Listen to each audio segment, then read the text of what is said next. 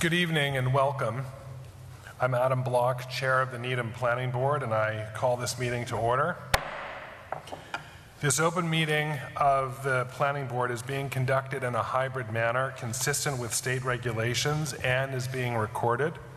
Public access to this meeting does not ensure that there will be public participation unless required by law. We have two public hearings this evening that will include an opportunity for public comment related to the subject of those hearings. For the record, I will now confirm attendance of planning board members. When I call your name in alphabetical order, please respond that you are present. Mr. Alpert, Present. Artie Crocker, Present. Jean McKnight, Present. and Natasha Espada. We note for the record that uh, Natasha does not currently appear on Zoom, um, and uh, we hope that she will join us. And Alex, if she does, if you could let us know, please, that would be helpful. Uh, I'd also like to confirm the attendance of our uh, uh, planning department staff. Um, Alex Clee, present. We see the wave. We're grateful. Thank you. And Lee Newman. Present. Very good. For others participating uh, in this meeting, please be aware that others may be able to see you. Anything that you share and state will be a matter of public record. All supporting materials for this meeting, including the agenda, are available on the town's website, which is needhamma.gov, unless otherwise noted. The ground rules for this meeting are designed to allow for an accurate public record. I will introduce each of the speakers on our agenda. As they conclude their remarks, board members will be asked for any comments, questions, or motions. Uh, the following ground rules are designed and applicable to both of our public hearings. The, ground, uh, the following ground rules are designed to provide for public comment in a respectful manner. We ask that you address your remarks through the chair. We ask that you to keep your remarks to three minutes, and it's just as effective to simply say that you agree with a previous speaker instead of uh, repeating the same point that a previous speaker has made uh, for another three minutes. Uh, we will cycle through comments uh, between, um, we will cycle through public comments between this room and on Zoom uh, as we see your hands up. Um, we will allow uh, participants to speak a second time if there are no other additional speakers. Your questions may not necessarily be answered as they come up unless the answer is immediately available either by board members staff or hearing participants. Otherwise, we will ask staff to note the question so we can provide an answer on our website or at our next hearing. Your observations are particularly helpful. And if you're unable to speak here tonight, we ask that you please submit your comments. All of the board members do go through our packets thoroughly, and especially with comments from the public, which can be emailed to planning at needhamma.gov. That's planning at needhamma.gov. These will be held, as with all other materials, as part of the public record. Our first agenda, uh, our first agenda item this evening is a hearing in relation to a major project site plan special permit number 2022-03 in respect of an application for a 155 unit senior housing project located at 100 110 West Street. May I please have a motion to waive the reading of the hearing notice? So moved. We have a motion by Paul Alpert. May I have a second? Second. We have a second by Jean McKnight. Any discussion on the motion? Hearing none, I'll come to the vote. Paul Alpert, Aye. Artie Crocker. Aye. Uh, is Natasha present? No. Okay, thank you. Uh, and uh, Jean McKnight? Aye. The chair votes aye. Thank you very much. Um, at this time, I'd like to welcome uh, people from uh, uh, Welltower and Balfour, Mr. Evans, Mr. Huber, if you're able to bring your crew to the table here and join us. We look forward to their presentation.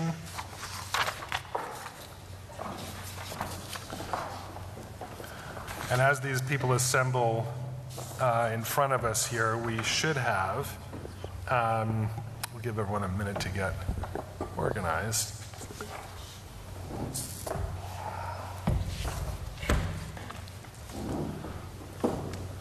We have Attorney Evans Huber. He can respond by saying present. Present. Um, And uh, uh, uh, Michael Schonbrun Present.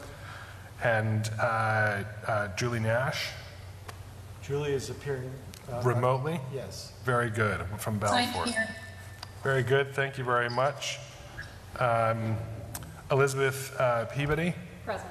excellent, thank you very much. Um, Ben LaFrance, Present. thank you very much. Um, Eric uh, Fredette, Here. very good, thank you very much. Aaron, I apologize, I think I said Eric, it's my brother's name, I apologize. And David Kelly, who I understand is appearing remotely, do we have him on Zoom? been invited, I don't know, uh, over. I see, I see him Present. already. Very good. Present. Very good.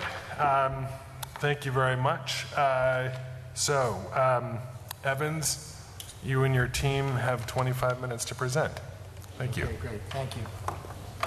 So, members of the board who are here in person, as well as those appearing remotely, Mr. Crocker, Ms. McKnight.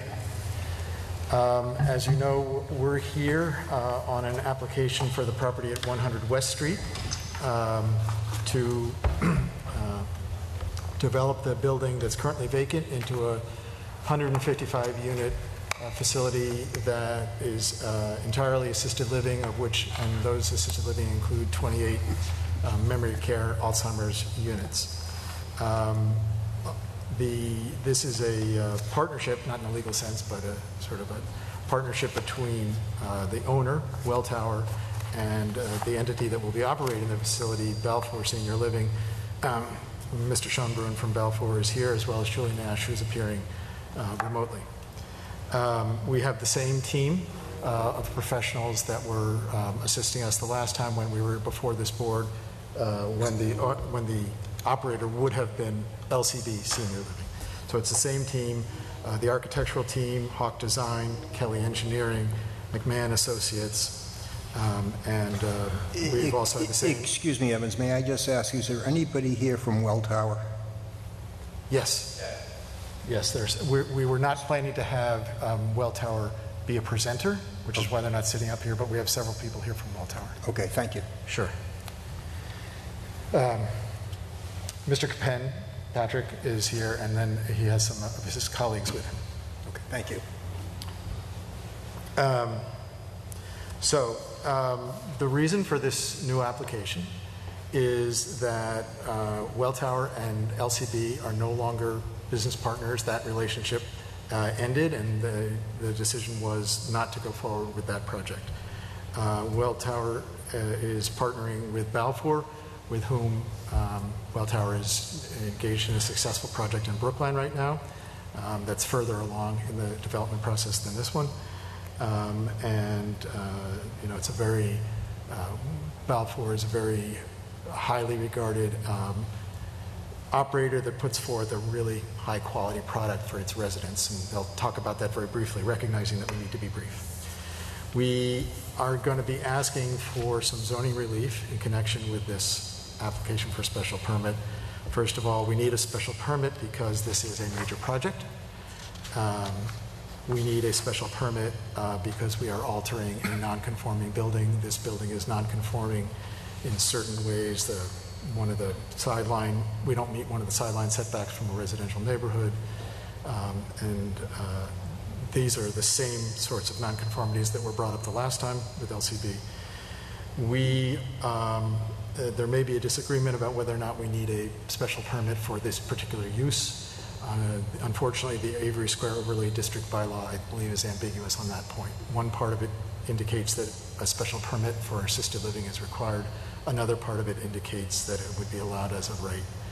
So um, we don't want to get into a legal fight about that, um, and it's not a valuable use of anybody's time right now, but um, we're asking for a special permit in regard to the use, the assisted living, while reserving our rights to um, take the position, hopefully will not be necessary, that, that a special permit for that use is not required. And then lastly, we have, um, we need a special permit uh, waiving strict compliance with certain aspects of the parking design requirements. And again, these are the same waivers that we asked for last time and were granted. We, uh, there are no comments from the police or fire department on this project. The engineering department has some relatively minor comments having to do with stormwater management. Um, And um, as this board is probably aware, we have been um, engaged in extensive discussions and meetings with the select board um, to try to address the concerns and unhappiness that was first expressed when this, when we met with this board a number of months ago. There was, you know, we're well aware that there are people who are unhappy about the idea that this facility is going to be all assisted living instead of a mixture of assisted living and independent living. We heard that very clearly. We've spent the last few months trying to meet with neighbors, meet with the select board, meet with this board, or at least some of the members of this board, and, you know, provide some perspective on why we think this is a good project and one that will be of benefit to the senior citizens of Needham. Uh, And, um, you know, the, the independent living um, would have, or did, in the case of LCB, carry with it a requirement for a certain number of affordable units.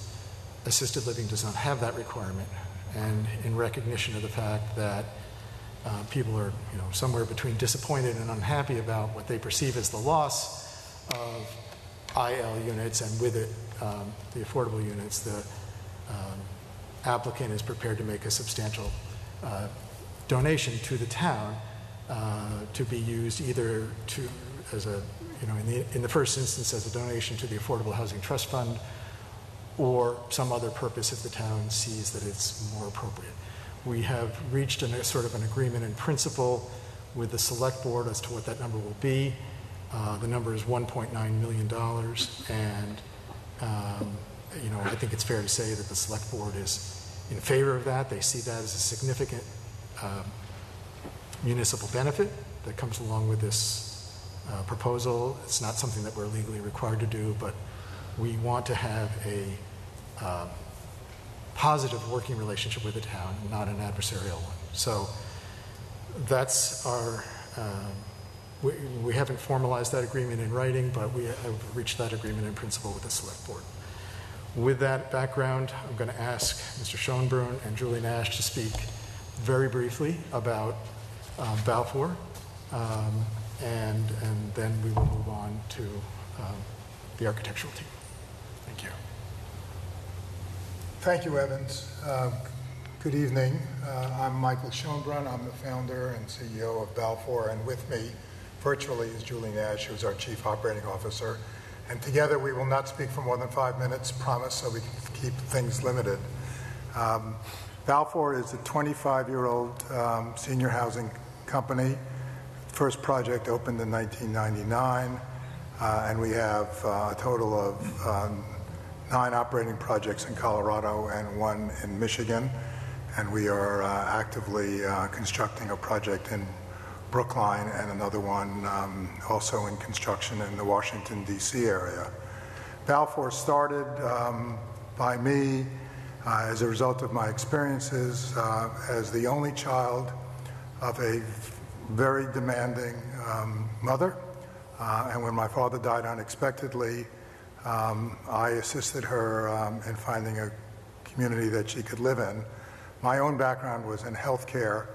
I had been the uh, deputy commissioner of the state health department, and interestingly, at that time, had a number of uh, relationships and working um, conversations with members of Governor Dukakis's uh, health cabinet at the time, um, comparing notes on um, how to improve quality of care for seniors. Um, the, the company itself, um, as mentioned, has been operating for some time. We take uh, a lot of pride in being um, medically competent. Um, we are always concerned that um, our staff is um, appropriate in terms of ratios to the um, uh, residents living there, and we make certain that our staff is trained enough, which is one of the issues, uh, that we don't have very many 9/11 calls at all that we can't handle ourselves. Uh, We think that having an appropriate setting for seniors uh, that really presents uh, a much more um, robust sense of life, that the seniors who live in our community, who range from um, late 60s up to late 90s, and in fact, we have a couple of people now in their 100 category, um, you know, um, are still full of interest and activities, and we do our best to make certain they have a robust and lively uh, program, not only on the healthcare side, but on life enrichment, uh, dining, um, activities, um, involvement in the community. Uh, we feel very strongly that's an important aspect. Uh, at this point, I'm going to uh, ask Julie Nash, who's our Chief Operating Officer, to um, make a few other additional comments. Julie? Thank you, Michael. Um, in addition to being the Chief Operating Officer of, of Balfour, I started my career with Balfour, um, opening um, our Balfour Longmont community, which is our newest community here in Colorado, which is a very similar model to what we are proposing in Needham. And the genesis, Michael's approach to senior living is really about creating the next generation of senior living, not only for the senior experience, um, but also the associate experience. And every day he challenges us as executive directors, as department heads, and as an executive team to look and be thoughtful about what that experience should look like. And that was the genesis of the Longmont community and what we're proposing here in Needham. Um, part of the pillars, um, if we could go back to the previous slide, please. Um, so part of the four pillars and the foundation of Balfour um, is our life enrichment um, experience and really making sure that um, our residents are going into the community, but also the community is coming into Balfour, and that we are helping empower our residents to live their fullest life. Um, and that's through um, not only within our community, but um, through the external community. Um, we're offering art classes and music and concerts and educational opportunities and partnerships with universities um, and exercise classes and travel. And so, one of the differentiators um, of Balfour is that we are not a cookie cutter community. We really look at the community in which we operate. Um, and so, we have basic pillars and expectations of our communities, um, but each one of our communities, um, we really look to our residents and their families to help us create the culture within our community. The second pillar of Balfour is the culinary experience. And what we do is um, at Balfour, we hire an executive chef as well as a sous chef um, who get to know our residents and their palate and experiences. They also partner with local purveyors um, and farms to create a fresh menu by the season, um, as well as having designated wait staff. The third pillar of Balfour is our complementary transportation program. Um, transportation is something that is offered at all senior living communities, um, but at Balfour we have a fleet of Teslas and um, um and drivers who take the residents to um, different places, but most communities only offer services for medical appointments. At Balfour, we want to encourage our residents to go and get their hair and nails done. Um, they can get it done in the community, but we encourage them to go and have meals with their families um, and really engage in the life um, of the community in which Balfour is, is located. Um, and the fourth pillar of, of, Balfour is the continuum of care that we offer. Um, you will hear many Balfour um, residents and their families or associates refer to Balfour as a family. And um, it is really important that we offer a continuum of care. Um, we do that internally by offering 24 hour licensed nursing care.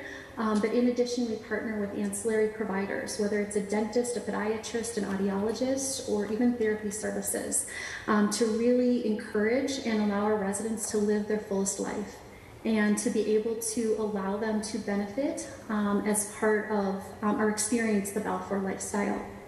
Next slide, please. Part of the way we do that is we are very committed at Balfour to our design. Um, we have award-winning interiors, and that is really important in creating the community um, that differentiates Balfour. And we want our residents to be proud of the community that they live in. We want them to invite their friends and family to join them for meals, to join them for a Mother's Day breakfast um, or brunch. And we do that um, by creating beauty and elegance of a fine resort um, while, while also creating a home-like essence um, through high ceilings, abundant lighting, colorful interiors. Um, Michael's wife is an attorney by training, um, but Susan does all of our design. Um, and her team wins awards for that, but it is really important that our residents are surrounded by beautiful interiors to help create a platform for the community in which we serve our residents and our associates can serve. Um, and then lastly, um, it is really important that our com- communities are sustainable. Um, that is a directive directly from Michael and a passion and something that's really important to him. Um, so the fleet of Teslas that we have um, are zero emission uh, vehicles, um, as well as all of our communities participate in recycling and repurposing. And Balfour at Needham would be LEED Gold certified. And the last slide that we have is just to give you um, some examples and pictures of actual Balfour communities um, and our assisted living communities, and to show the community that we can create from the architecture. Um, and Susan and the design team and the architect firms that we work with really look at the community that the Balfour, um, the local community, and try to mirror that um, so that we can then create a community for our residents and associates.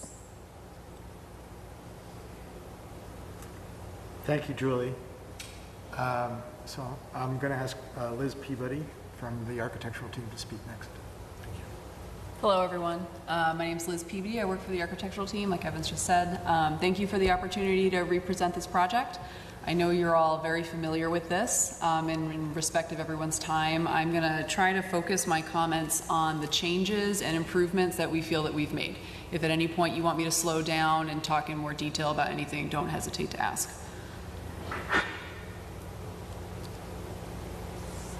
Okay. So here we have our ground floor. Um, It may look uh, quite similar, but there are some key differences that I'm going to hit on. Obviously, as we've talked about at the beginning, the program has been streamlined from IL, AL, and memory care to just AL and memory care. Uh, And there are some benefits that the residents at this community are going to be able to enjoy that they wouldn't have been able to previously. Um, First and foremost is that all of the amenity space that you see here will be able to be enjoyed, well, I- there's memory care on one side and A on the other, but all of the amenity space that IL previously had, you know, segmented off from AL will now be able to be enjoyed by all of the residents um, in the AL community. So they'll have almost double the amount of amenity space than they would have under the previous application. Um, which we think is going to be really exciting for them. There's a lot more space for them to enjoy. Um, starting at the entry, we've upgraded the entry sequence. Uh, this is now enclosed and enlarged a little bit. This is where the valet station and um, carts for move-ins and things like that will be. Previously, it had been proposed to just leave the entry as is, uh, which did not have the enclosure that, and we'll look at that a little bit more when we get to the elevations. Um, you can also come in and you're not directly confronted by that elevator. Um, if for anyone who's been to the site knows, you walk in and you're immediately maybe 10 feet in front of you. There's a solid wall and there's no view anywhere. Um, previously, that was going to remain. Now we're relocating those elevators, and you're going to have this nice wide view corridor all the way across the hallway. And then when you turn immediately to your left, you're going to have these beautiful double height spaces similar to the images that you just saw, um, which is going to have a big wow moment um, and really open up that space and have a great, airy, light atmosphere, which we feel is very important. Um, additionally, these two double height spaces, which you can see I'm pointing to with my mouse, hopefully everyone on the presentation can see my mouse, um, there is a direct connection to this courtyard. Um, so these areas are really going to be the flagship lifestyle spaces for the residents to enjoy um, on the AL side. And I will let Ben, during his presentation, explain the courtyards a little bit in more detail. Uh, memory care programming, which is on this bar portion, is very, very similar to what was previously presented.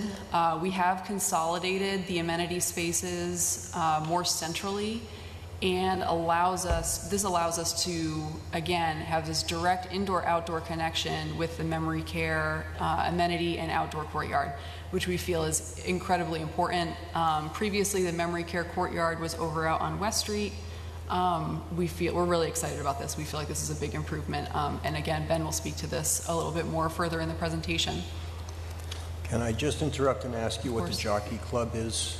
Sure. So Jockey Club and Great Room are kind of a themed flagship.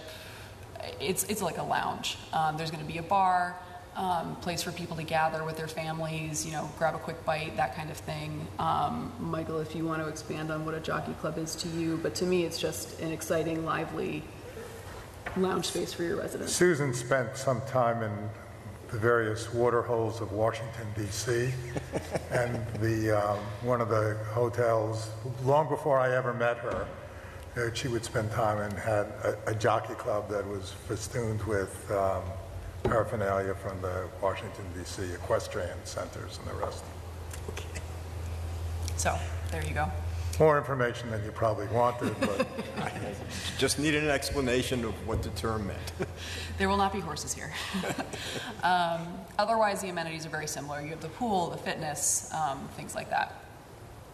Uh, upstairs, uh, you can see immediately these two white spaces right here. These are, um, or at least this one right here, is open to below. The one next one, the one next to it will have a vaulted ceiling, but the open to below um, area, you'll get to experience that from the library. There's going to be this really nice grand staircase connecting the first and second levels um, and the, the core amenity spaces for the residents, uh, which is going to be a big improvement um, over what was previously proposed. Just, just that, that volume of space really helps keep things open and airy. Um, we have a theater here as well as a crafts and activity studio. Uh, the other key point, besides amenities, that I want to discuss is unit sizes. Uh, now that we are primarily AL and there's no longer an IL component, the unit sizes have been able to grow substantially, and the average size is 830 with this Balfour proposal, which to me is a very typical apartment for standard market rate apartments as opposed to just senior living apartments. So that's a, it's a really healthy size. Whereas the LCB average was 622, which to me is more typical to an AL unit. Um, these larger units will have full-size kitchens, so the residents will have access to a full suite of kitchen appliances, and they will also have their own private washer dryer in their units. So for those who are healthy and active and have the ability to do so and desire to do so, they can do their own cooking if they wish. They can do their own laundry if they wish. But of course, those amenities are also provided on site for those who want them. There's laundry service and obviously commercial kitchen and things like that. Full stove and, and um, oven? That's correct. Obviously, memory care does not have a full kitchen. They just have, you know, their sink and locked fridge and that kind of thing. correct.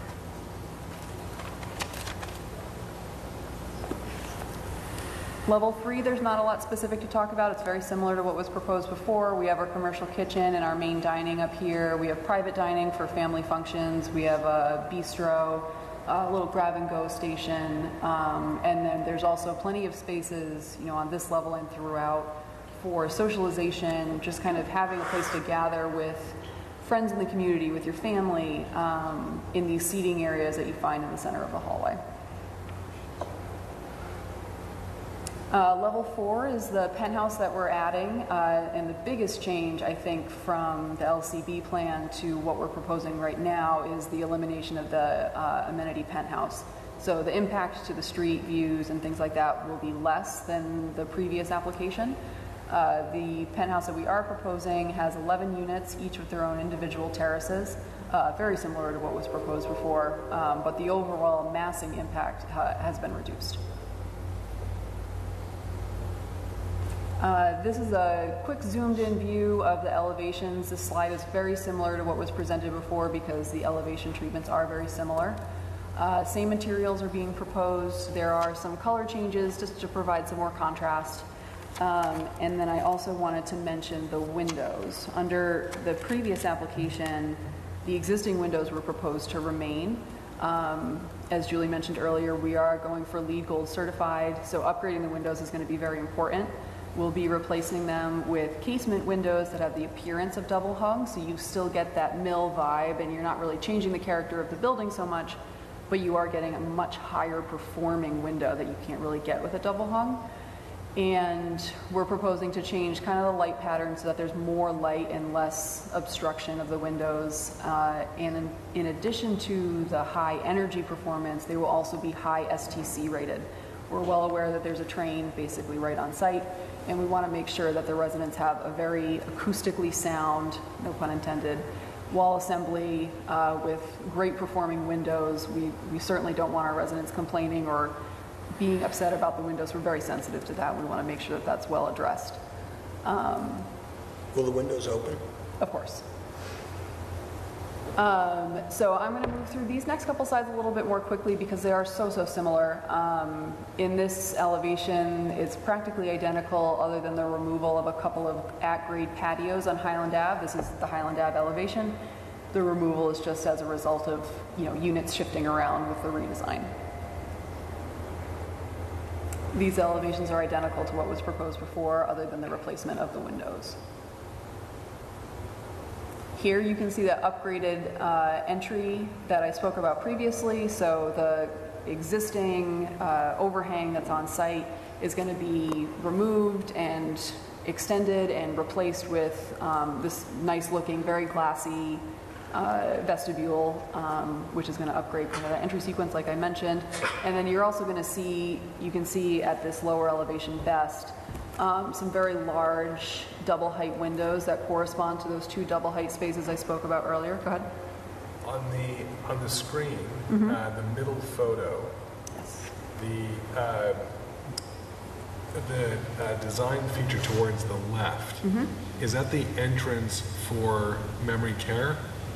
Uh, great question. It is in the memory care wing, uh, but it is not the entrance to the memory care. It's an AL direct entrance. So you get you come in. There's a stair and elevators that go direct to AL. The memory care entry, if they if they don't come through the main entry where the admin space is, there is a memory care entry on West Street. So what is that design feature? That design feature is existing. It's the porte cochere as you go, let me go back to the main plan. It's this guy right here. Okay. And the entrance for assisted living, oh, sorry, would- for assisted living would be farther, um, So assisted living, it is right through here. So if you come in, there's a stair that goes upstairs and an elevator that the AL residents would have free and clear access to. Memory care does not have access to those stairs or elevators. so around the roundabout, that's no longer going to be the main entrance? Or that's not going to be the central? This is the main entrance for the property, but if you are a resident and you're not going to the amenity spaces, you're going straight to your units, this might be a far more efficient way to get in. So there are, there are two entries. This is dedicated to AL, and this is the main entry for the total property. I'm sorry, where is, where is the memory care on that floor plan? Right, so. Where are those units? Here, this is the dividing wall. So there's controlled access from inside the building. Yes. So the main entry is likely to be used by family, um, and, well, family coming to visit is likely going to use the main entrance. This is controlled entry. And then there is also access to memory care on this elevation. So that whole section is all um, uh, memory care? Correct. But did you just say that the assisted living entry for the residents is, Uh, Let me see if I can zoom in. That's going to help a lot. So do you see how this is cut off? And there's no access from this vestibule to this wing. It is only direct access straight upstairs. I see, okay. It's going to, come because in- this building is so large, having only one entry for your AL residents is going to be really inconvenient. So we have two entries. There's your main entry where all the amenities are, and then this entry right here. This is where the residents, so there are two Correct. entries for the assisted living residents. Correct. One is where the families would tend to greet, and the other is, uh, You're and out all, and about, you're, you're coming and going. and what I see here where it says studio and one bedroom and den on either side, that's all memory care. Those are all memory care On units. level one, yes. So you come in from the driveway, here's your access to go straight up if you are an AL resident. If you are a memory care resident, and you cannot use this entrance, you are, there's just, it's not, that's not a secure So it's- entrance for you to use. Yes. Okay. And so all of these studios are memory care, correct? The, the memory care units Adam, are all on the ground. First floor, that's what I, All that's on what the I floor, thought. yes.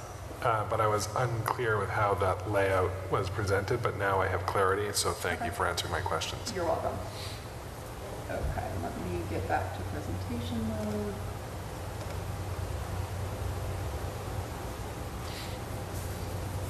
Yes, no, that is a great question. It is a little bit in plan confusing because AL is in the memory care wing on the first floor only, so that's what that is. Um, And so to pick up where I left off, we were talking about the upgraded windows. So these much larger glassy, um, nice-looking windows, this is going to help foster that inside-outside connection that we feel is really important. Uh, And it's going to help differentiate, differentiate visually between amenity spaces versus residential spaces. Whereas previously, all of the amenity spaces from the outside and from the inside were going to appear just the same as your own units. Um, So we feel that this is a, a nice improvement, um, and is also not going to be really visible for the street, is really, you know, for our residents to enjoy. Because that's the side that faces the parking area. Correct, that's the parking lot facing side. Uh, This is the proposed south ele- elevation, this is facing the other parking lot on the other side of the building. Um, Practically identical to what was proposed before, again, some patios were moved around because the units moved around inside. And then I think these have been presented to you before, very quickly, just showing the difference between the two. You can barely see the penthouse uh, from Highland Ave at all. Um, And this is, you know, showing there is going to be a substantial investment in the landscaping, which Ben will talk about in a few moments. Um, Again, another view from Highland Ave. Now that the amenity penthouse is gone, there's almost no visual access to this additional fourth floor. There's the penthouse from Mellen Street. And with that, that is the end of the architectural presentation. Um, Before I turn it over to Ben, did you have other questions that I could answer? I'll ask uh, at this time, I guess, um, if uh, Artie or uh, Jean, if either of you have any questions at this point on the architectural before we move on to the next guest. Uh, Yes, I do. Um, I saw it on the plans, uh, but it wasn't um, mentioned um, just now in the presentation, that there is an entrance off um, Highland Avenue. Could that be shown? That's true. Sure.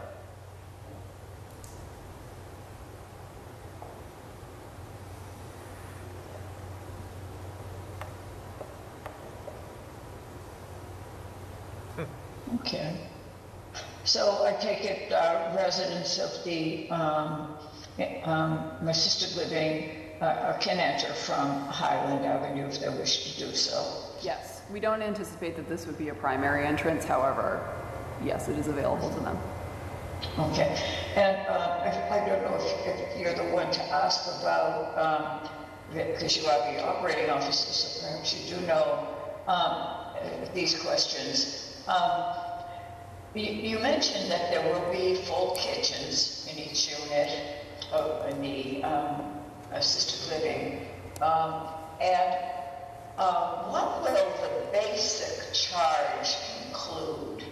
Um, is the basic charge to live there, uh, does it include meals or is that extra?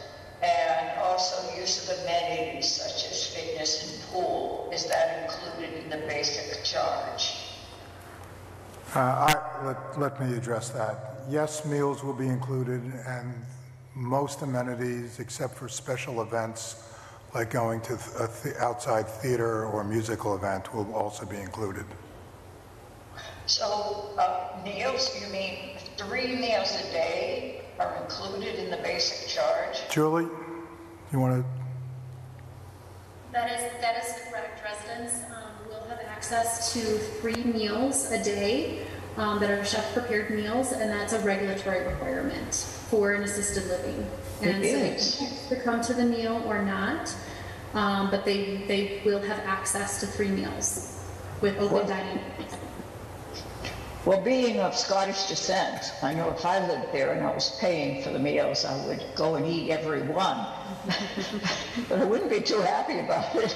Well, uh, at the- at the risk of presenting perhaps some conflicting information, my understanding was that the regulatory requirement is one meal a day, and that the expectation was that we were going to be offering different meal plans. So the minimum that that you are required in order to be licensed as a AL facility in Massachusetts is one meal.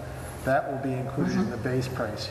You can pay more for more meals than one meal per day. That's my understanding of what the intention is.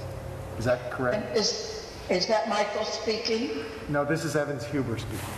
But I, I, I believe I misspoke, that, um, and we can validate this, um, but um, there will be um, three meals prepared. Uh, I think under Massachusetts regulations, um, one may be required, but we can validate that. Colorado is different, but different states um, are different. We do not send the police out to enforce, you know, that somebody must attend every meal or they're in trouble. But it does, So it's it, similar, it's similar to North Hill in that regard. Uh, I'm not familiar enough with North Hill to speak to that. Okay, I think the, based on what was presented, um, that's, uh, my comments. So to be, so so, so to be clear, um, the residents will have a, a full kitchen. Correct. And so if they choose to cook their own meals, they aren't paying for three meals a day if they don't want to. They would Because be paying for one meal a day. they, they, they could be paying for one meal a day and choose to make their own meals because they have full kitchens for the other two meals every day. But if they want to avail themselves of two meals a day or three meals a day, they can add to their basic charge That's correct. in order to, We, to, we, to, to have that. we can certainly confirm that to you in writing. but No, I think. That's our intention. No, that, that's fine. Thank you. Artie, I see you have your hand up. Yeah, yes, yes, thank you, Evan. Um, so, so just to clarify the differentiation between assisted living and independent living, to some degree, we're talking about that one meal per day. Is that a fair assessment? The difference if someone has assisted living versus independent living? That one meal being charged at this point? No, Or that's, better- I, I, I, I would not agree with that, uh, Artie. Um, So the reason that it's important, um, one of the reasons why it's important and why Balfour has taken the approach of having all of these rooms be, all of the apartments be licensed as AL facilities is that allows um, Balfour to provide services um, to a resident in an AL licensed unit, uh, you know, healthcare um, and assistance of daily living, um, where they would not be able to do so if it was an IL unit. So if it was an IL unit and the resident of the IL unit needed care, they would have to bring that care in from outside. Uh, so the, uh, one of the, this is what Balfour refers to as aging in place. Um, when, if you are living in a unit that is licensed as assisted living, you may not need any assistance when you first move in. Hopefully, you won't. Uh, or maybe one member of the couple, if it's a couple, needs it and the other does not. Um, and so that, that, that care can be provided to you when you need it, either right away when you move in or when you eventually need it, without having to move from an independent living unit to an assisted living unit. Okay, so let me, just clarify the other direction. Um, so you're saying legally you are not even allowed. Is that what you, just want to so legally you're not even to, you're not allowed to even offer them services if it is an independent living unit. Is that what you're telling? Is that what you're saying? You're not even allowed to offer those services. Uh, Well, Julie can speak to that probably better than I can, but my understanding is, if you are licensed as an assisted living facility, or those units which are licensed as, as assisted living, the operating entity, uh, in this case Balfour, can provide the sorts of services that a resident needs, um, you know, assistance of- with activities of daily living, for example. Balfour would not be licensed to provide that care to somebody living in an independent living unit. Many people live in independent living units and find themselves needing assistance. And what typically happens in that situation is they either move to an assisted living unit, or they bring in care from the outside. I, I would also add that couples sometimes are a different uh, health status. And if one of the um, members of the household needs more care um, in an independent living, they can't provide that. That means that couples may have to split up. In this setting, they can stay in that, and one can receive the extra care and the other one does not. Artie, um, But- Artie, I, I understand, Yes. do you have any questions about the architectural Thank and the site plan that was just presented? Because I, need- uh, you've got other questions, we'll get to those questions, but I'm just mindful Uh, of the let me, time. uh, actually, uh, let me just finish, okay, so I just, okay, so I, I do have some questions related to architecture, thank you, Adam. So I just want to be clear that, so you're just saying legally you're not allowed to offer those same amenities to the independent living that you do to the assisted living? Just want to clarify that's what you're saying. I, I, I wouldn't And- phrase it as not allowed. I would phrase it as we're not licensed to offer it in facil, in, in, in units that are not licensed as assisted living facility. So an, a unit could be an independent living unit, and in that unit, you are not licensed to provide services. Okay, uh, just the, uh, the other thing, just to clarify, um, I just wasn't a hundred percent certain where, I mean, where is the entrance for the memory care? Is it the dual entrance of that, where we, we could also entrance for assisted living, plus the memory care does enter there as well? I just wasn't sure where the exact Sure. entrance is for the So- memory care. So for those, I mean, a a person living in memory care is not, you know, freely wandering in and out of this building, right? Um, So the Sure. main, the main entrance for the property, including for memory care, is here at this roundabout. There is also an entry on West Street. This is not the For the- primary the- entrance For, for the memory care. for the memory care, correct. There's no access to AL from the West Street entrance, it's memory care only. Okay, thank you. Um, the other is, you're talking about the windows. Uh, I mean, I, I think it's fabulous that you're looking at gold standard. I mean, I, I love, I, I love that, that you're doing that. Um, you talked about the windows would open now. What about the windows in the memory care units? Uh, do, did they all open the same way? And, is, and if they all open the same way, does that mean it offers the same accessibility out of the building? So Um, that's a I'm not great question.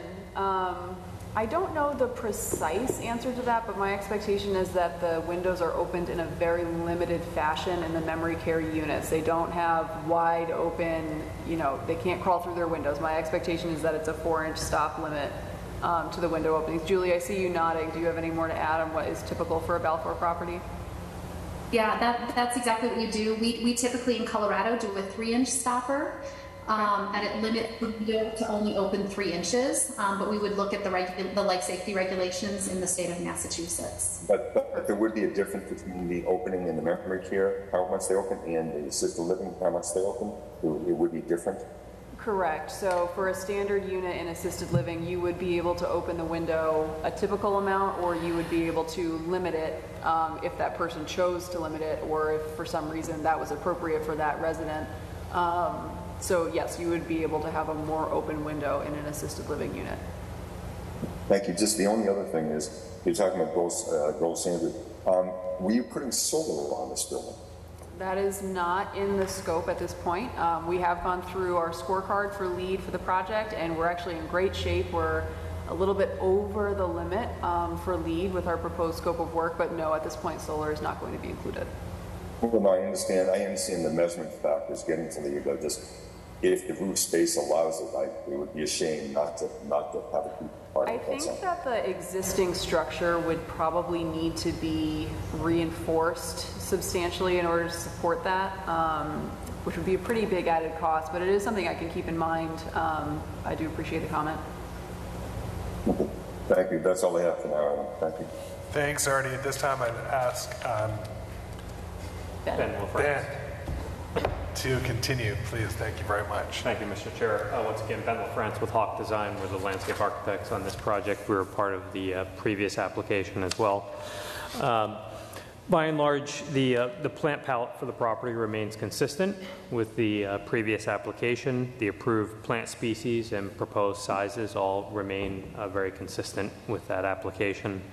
Um, The, uh, there have been small adjustments made uh, throughout the property to accommodate some of the architectural changes uh, that you just heard about, as well as some of the exterior resident amenities that we, uh, that we were able to relocate based upon some of the interior programming of the building. Um, So along the Highland Avenue facade um, and the southern parking area facade, very minor adjustments were made to the locations of plantings. Uh, Some, some areas we had to add or fill in some plantings based upon the resident patios uh, changing along there, as well as some of the, the refinements to the door and window locations.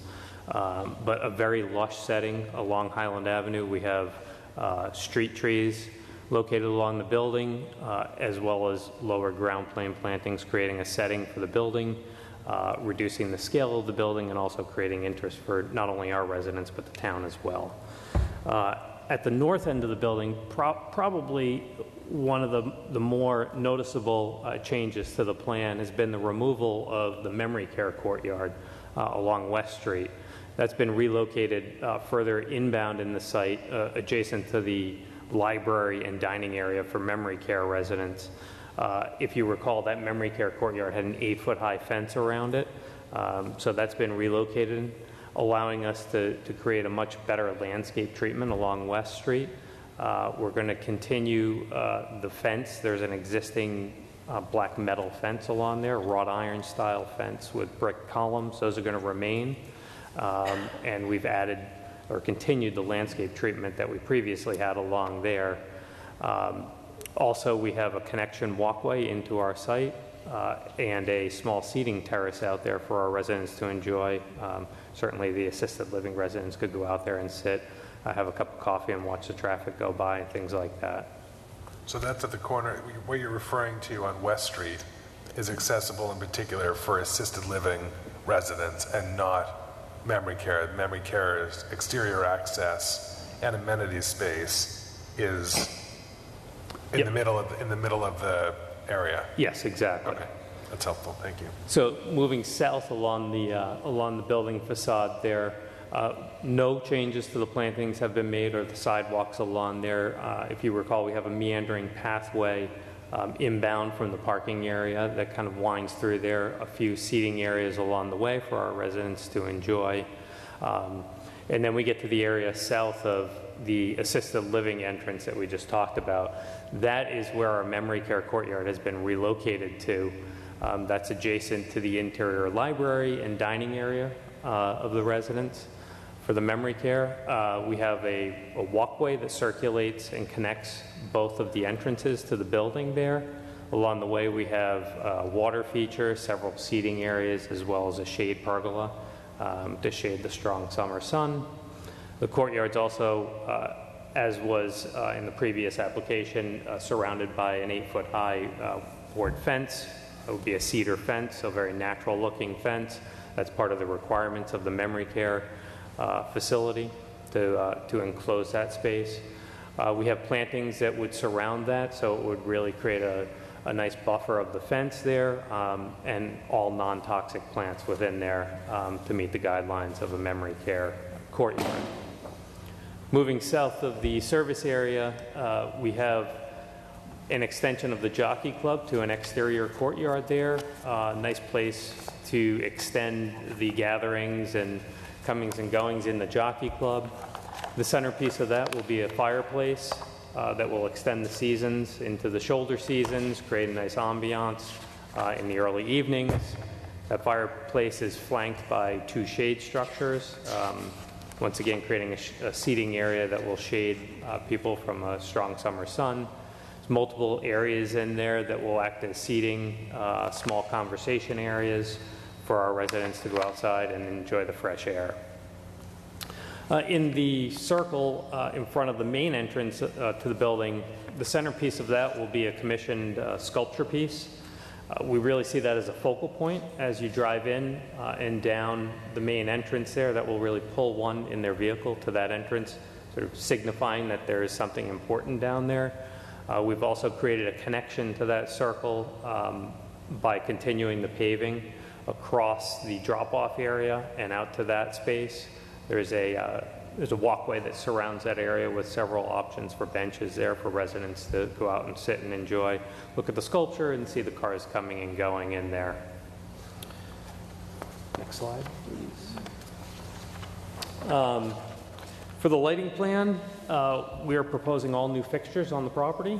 Um, Due to the efficiency of this newly proposed site light fixture that we have, we were able to reduce the number of, of lights from 31 on the previous application to 26 on this current application.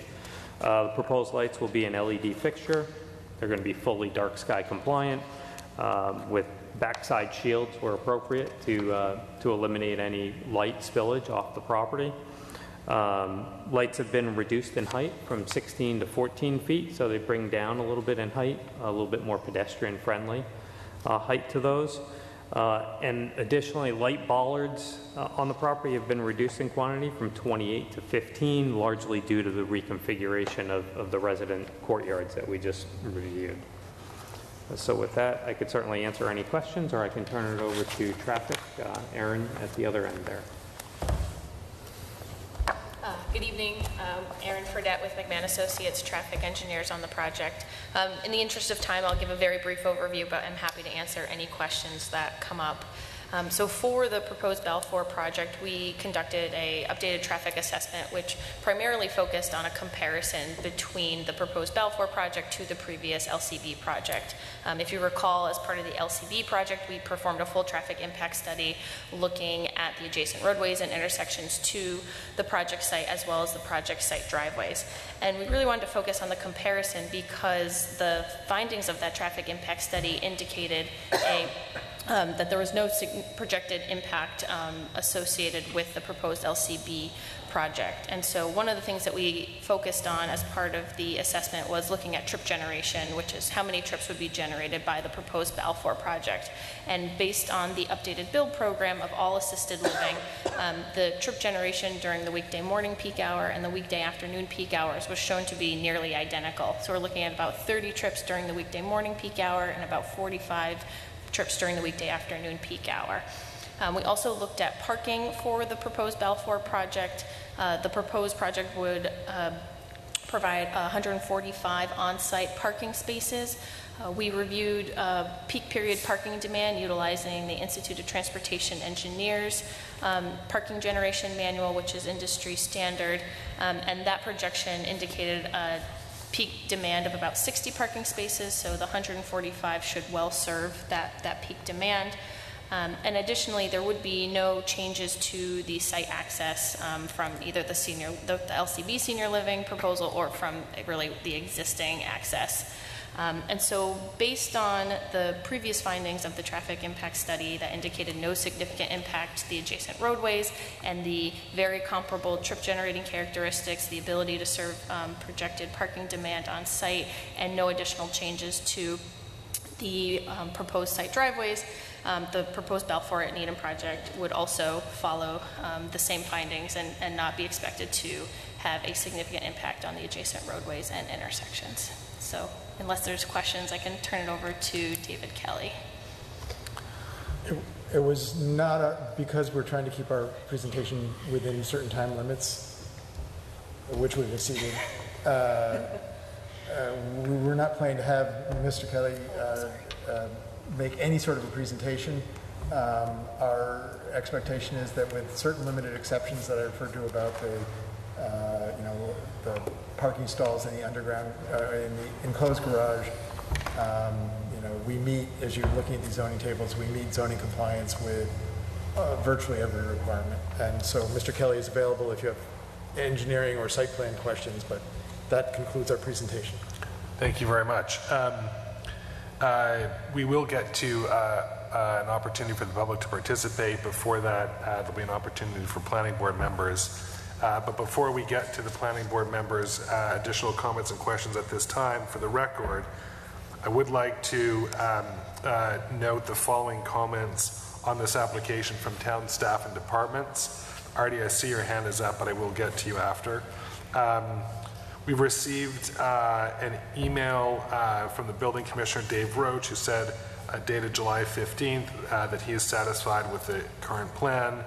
We have a letter from our town engineer, uh, Tom Ryder, dated August uh, 10, recommending stormwater recharge on site in order to minimize future disruption. Uh, He acknowledges uh, that it's uh, not required, yet he suggests that to do it would be substantially advantageous. Um, And I'll come back to that uh, in a moment with our questions. Um, We have an email dated from August 10 from Assistant Public Health Director Tara Gurge, who notes that obviously a food permit will be required, a pool permit will be required, uh, sufficient, um, she's also looking for sufficient space in the parking lot for a trash dumpster, a separate recycling dumpster, and also a containment program for waste oil and grease. Um, a pest control service contract to be in place during construction, in addition to post-construction, in addition to a potential uh, requirement for wildlife pest services uh, contract uh, during and post-construction. Um, We have an email dated August 11 from our new fire chief. Excuse me, Anna, may I interrupt there because I have a comment about Tara Gurge's email? Or Sure. It's kind of a question. Yep. Um, She also stated that the dumpsters must be placed in an easily accessible area close to the main kitchen areas. And I noted that the kitchens are on the third floor. And so I was wondering if you addressed that issue with the health department about the fact that. That- We'll have to open the that- that they window and wanna throw it see- Yeah, They want to see the dumpsters, they want to see the dumpsters close to the kitchen, and yet I think that's a little bit difficult if the kitchen's on the third floor. That's a great point. So let me address that, or do you want to continue, or should I address that now? Uh, You you can address it now briefly. Briefly. Otherwise, just, uh, you know, f- uh, you know, it's, it's a note that will have to be addressed. I'm sure, Evans, you've seen all of the town public comments. And, you know, we're looking to address those in addition, you know, to the comment that Tom Ryder had made. But So All there right. is a service elevator here that is not intended primarily for resident use. This is for uh, kitchen staff and things like this. Um, Here's your service for the memory care dining. As you can see, it leads right out to the dumpster. Um, And then if you go up, pardon me. Uh, You can see this commercial kitchen has direct access to this elevator, which leads you right to the dumpsters on the first floor. And the residents don't have access to that elevator. Correct. And- And have you discussed this with Ms. Gurge. We have not had direct conversations, no, but I do feel that this is the closest connection we I- could possibly achieve. I, I would like to see something from Ms. Gurge indicating that she's okay with this. Certainly, okay. Thank you. Thank you very much, Paul. Um, We have an email uh, uh, dated August 11 from our new fire chief, Tom Conroy, uh, who is satisfied. We have an email on August the 12th from uh, police chief um, uh, Schlittler, who has no issues. Uh, We also have a memo dated June 21st from the Design Review Board, having acknowledged um, the changes made from the previous application and the previous program to the current program, um, and uh, they have no further issues. Um, uh, I have a a couple of comments uh, a- and questions. Um, uh, I want to make it, I want to make a note that we, uh, you will have an opportunity to speak with uh, our Public Health Department to ensure, as my colleague Paul Alpert has said, an opportunity to satisfy her comment with access to the dumpster, in addition to her other uh, comments about uh, uh, the placement of the dumpsters, both dumpsters, and uh, the containment program for grease oil, um, uh, for waste oil and grease. Um, I, and also um, with your engineer to, uh, you know, to discuss with Tom Ryder, the, you know, the opportunity that we have now, while the building will be under renovation, to address on-site stormwater management, uh, or discharge, um, you know, as opposed to um, addressing that in the future. Um,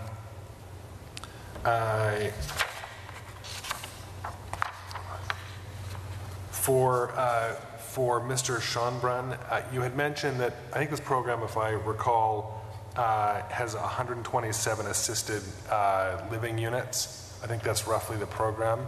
Um, And you're intending, uh, are you, you're not only intending to admit seniors that require assistance with living, is that correct? That's correct. And you therefore will admit some uh, um, residents who are able to live entirely independently, regardless of the fact whether they're Scottish or any from any other nationality, have the uh, uh, ability to, you know, pay for uh, one meal a day that they're otherwise fully independent. Yes, that's correct, and it's what we've done in several of our other buildings that, um, offer the three programs. Um, So, um, do you have any idea how many of those, u- of the 127 units that you kind of hold as available for residents that are able to live fully independently? I'm not sure that we hold them available, but I believe that in, um, Julie, and you can help, I think we're some, somewhere around 30% uh, in our, for instance, our Longmont, who um, are living independently. In, yeah, in Longmont, last time I, there's, there's 68 living apartments and 24 of the residents are currently considered independent, meaning they have no care needs at all. That's helpful. So if of 127 units, 30% is roughly somewhere less than 45. Do we have an ability here to accommodate some affordability? 12.5% of uh, um, uh, 45 units would be more than uh, uh, 10% would be uh, five, um, so six units to hold as affordable. Well, that has not been our proposal. Um, People's needs change. The average age around the United States of folks living in independent living versus those living in assisted living is roughly 18 months. So the length of stay will determine if they are with us for the rest of their lives, which is certainly our intention, that they will need that care over time. And rather than have to move to a different location, we think the advantage of this program, where it's all licensed assisted, they can remain there, and, and therefore, one unit, one year might be somebody living independently. The next year, that may change, and they would need more care. They will not have to move. And the same thing, of course, happens to uh, I wasn't thinking of actually of, of requiring moving of a resident.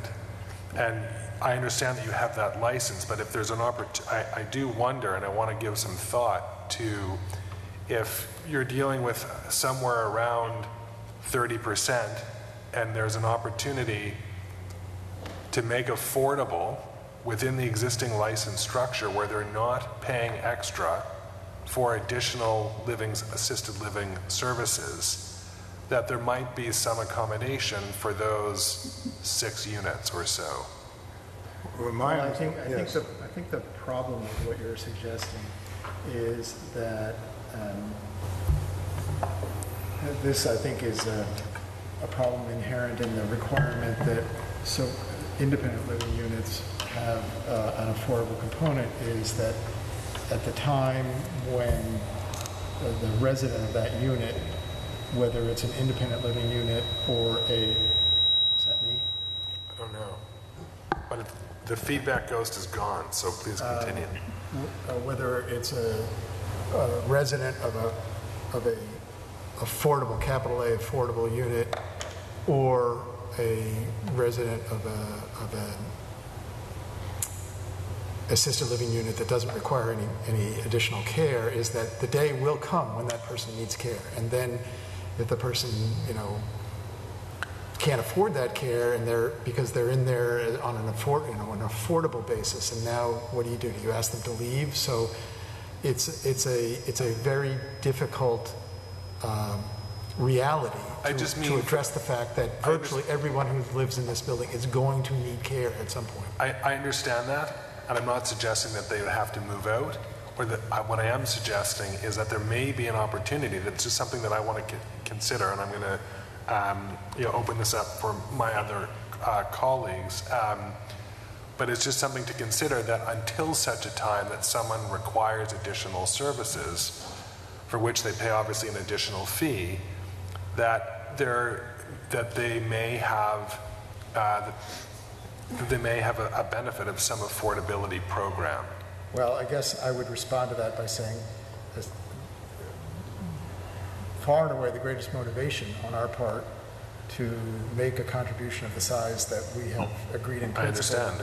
is as a donation to the Affordable Housing Trust Fund in recognition of the fact that this assisted living is not required by the bylaw to have affordable, and uh, there are difficulties in implementing an affordable program for assisted living. And so, um, because, you know, assisted living can cover a, a range of, of levels of care and therefore a range of costs. And so, um, you know, it's not an inconsequential amount of money, $1.9 million. You know, that was intended to, if, if, you know, if the town, the town can use that money however they want. And if they want to use it to provide some sort of a subsidy to people that they determine are eligible in some way, that's certainly the town's prerogative. But it was not our intention to do both, for sure. I, I understand it wasn't your intention to do both. I'm just trying to identify other, um, you know, i- you know, other opportunities here, which is the purpose for the question, but we can, you know, we can, I can speak a little bit to well, right? please.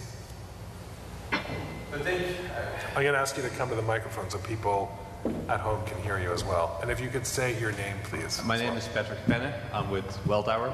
Um, I think one of the, just to help provide some context into uh, this question is the 30%, I think you alluded to it as well, it's, it's going to be fluctuating, right? If people, it could be 50% at the beginning, it might move to 20% at some point because once people will require care, that we, we, it's hard to predict when they will require care. Um, the way this works, we typically think as a company can tell you, we don't, there's barely any profit margin in care. It's like not the way we operate, it's not the way we want to operate. So the moment that we start um, providing a lot of care to an affordable, uh, to a resident that is in, in an affordable housing unit, what will, will happen is that the impact of having an affordable housing unit um, on site, someone requires a lot of care, is financially very difficult to, um, to sustain. That's, I'm I'd not say- suggesting that the affordable unit or the, or the, I'm not suggesting rather that the assisted component necessarily becomes affordable. I'm not suggesting that. I am suggesting is that if there are, if there are up to 45 residents, uh, 45 units of the 127 units that are for a period of time, generally speaking, not requiring additional assisted living services. They are cooking at least two of, of the three of their own meals themselves, um, walking, driving, participating independently in, uh, you know, in, in society. Um, Mr. Chair, may- may I jump in here be- because I think you're getting into an area that I'm getting confused about, and I have some questions that maybe might provide some clarity okay. on this Okay. issue. Can you explain how the fee structure works so that, for example, are all of the assisted living units paying the same fee? I, I recognize the fact that the fee will change based on how many meals you have, but are you charging different fees based on whether or not they need assisted living Yes. care? Yes. Okay. So the assisted living care is available, and if you need it, you pay extra. Correct. And typically, we have folks at zero, one, two, and three levels of care, which are in fact calculated based on points and the- the needs that they may have. The other thing, walls. The units are not all the same size, so. No, no, no, I, I, I- I understand that. I'm, I'm, I'm- I'm just trying to understand as, as, because the distinction that, that's being made here is a person or a couple who needs no care versus a person or a couple that needs care, and Adam's trying to get to an affordable, um, um, an affordable unit potential um, where the- the affordability clearly then, then depends upon the level of care that the people need. I mean, if, that, you know, that that's, that, that changes the dynamic.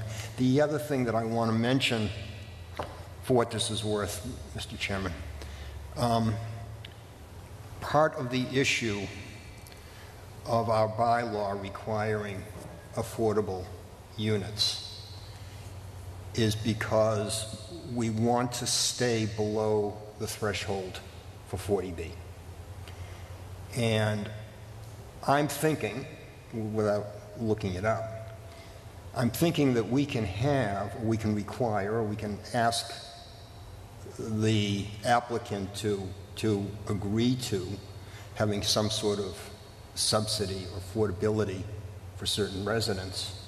But because they're not technically independent living units, I don't think that those affordable units would help us in terms of being part of the affordable units in town that would go to our maintaining 10% That's right. That's affordable right. Well, units. Or, or put, the other side of that same coin is that's the reason that there is no requirement in the bylaw for affordability component Of of assisted. assisted living, because assisted living does not count against the housing stock, which is the denominator of the ratio that has to be. Which is what I'm trying to say.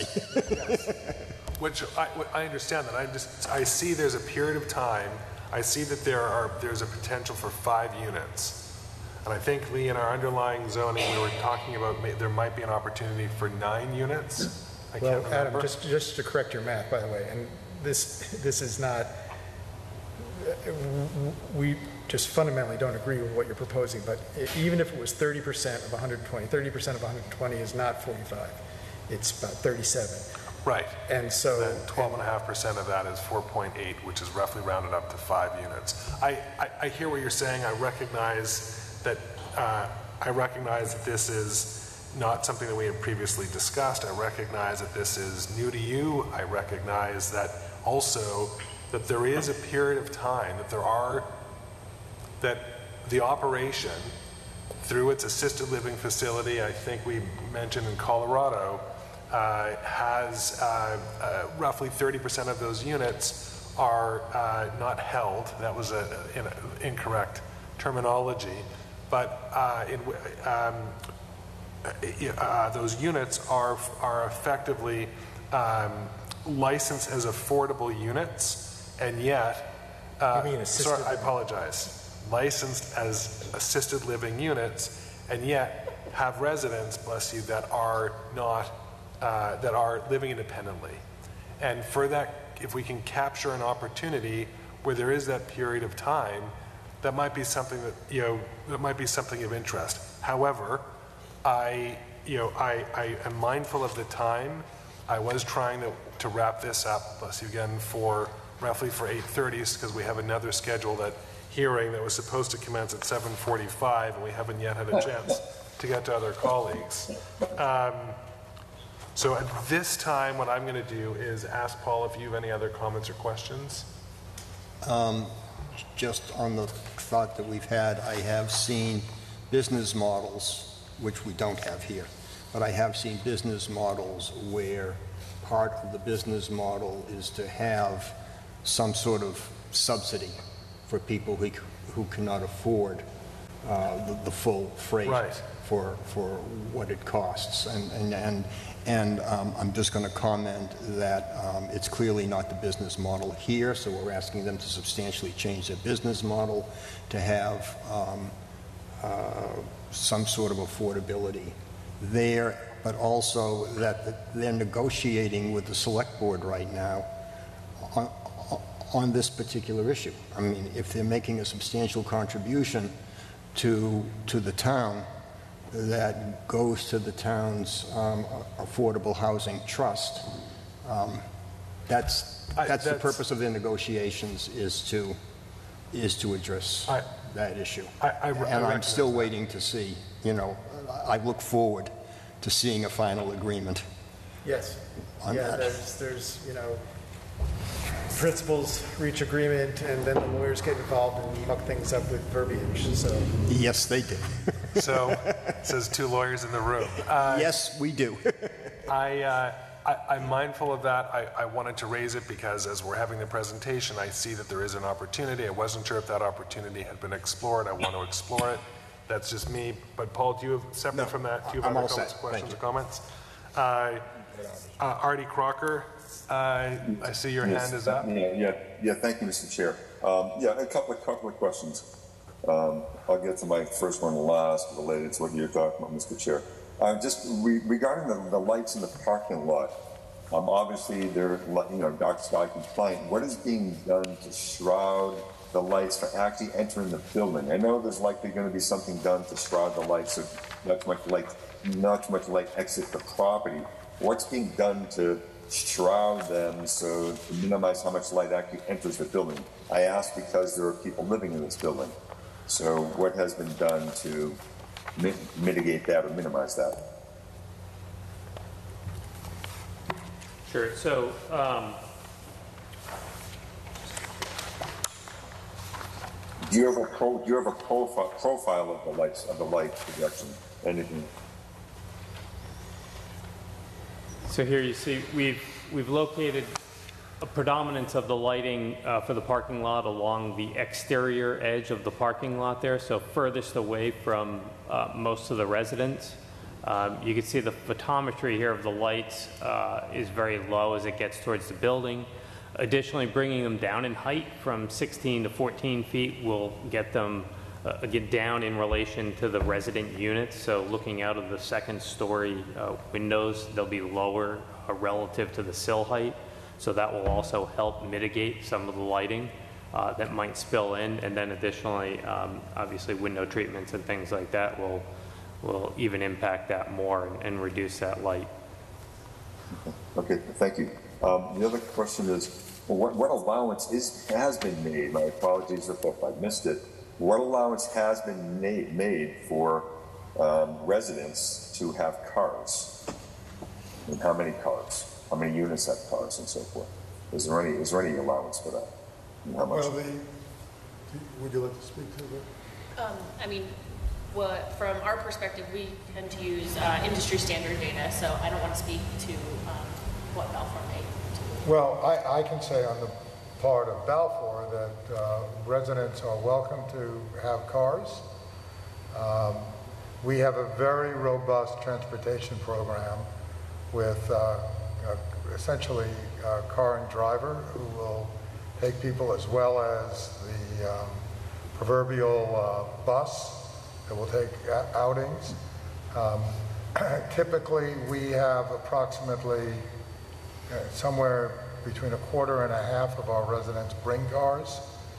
And once they realize the benefits of the transportation program that Balfour provides, uh, half of those people will um, either never use them or get rid of their cars. So it's a very small uh, percentage that are actually using it. But are, but are they, uh, but are are they, is, is every AL resident allowed to have a car? one- Yes. One car, let's say? Or- Yes. And, and if so, are they, are they charged extra for cars in the, in the parking lot? Uh, At at this point, I'm not sure we're we're planning on a charge for the parking, but we have not refined all of the um, fees for the building yet. So I I think I have to say, I don't know. They certainly are allowed to bring a car if they want to. Except for the memory care folks that we hope, you know, Yeah, of course. Yeah, yeah, of course, of course with that one. Um, so getting, getting into the uh, gold cert standard, uh, because I, I know with gold certification, there's a certain, you know, rainwater, you know, gray water reuse. Um, I don't remember right now, but the stormwater mitigation reuse. Could you talk about that? Could you talk about what the plans are for that? that? is rainwater, stormwater, gray water reuse. Do we have, who's from, uh, from Kelly Engineering on the? Oh, we So I David, can are you s- on? David was Good on. evening, Mr. Chairman. Good evening. Good thank evening. you. Uh, So, so firstly, with regards to grey water, there has been no discussion, but there really isn't an appropriate way to deal with that here. Um, there really isn't grey water from a plumbing separation system. I'm not sure the town even allows it. Um, relative to storm drainage, we did just receive or just heard about the comment from Tom Ryder this evening regarding suggestions for more recharge on site. I want to note, and I think in Tom Ryder's letter, which we haven't seen yet, he did note that the project does comply with their stormwater regulations, and it does because there isn't an increase in paved area on site.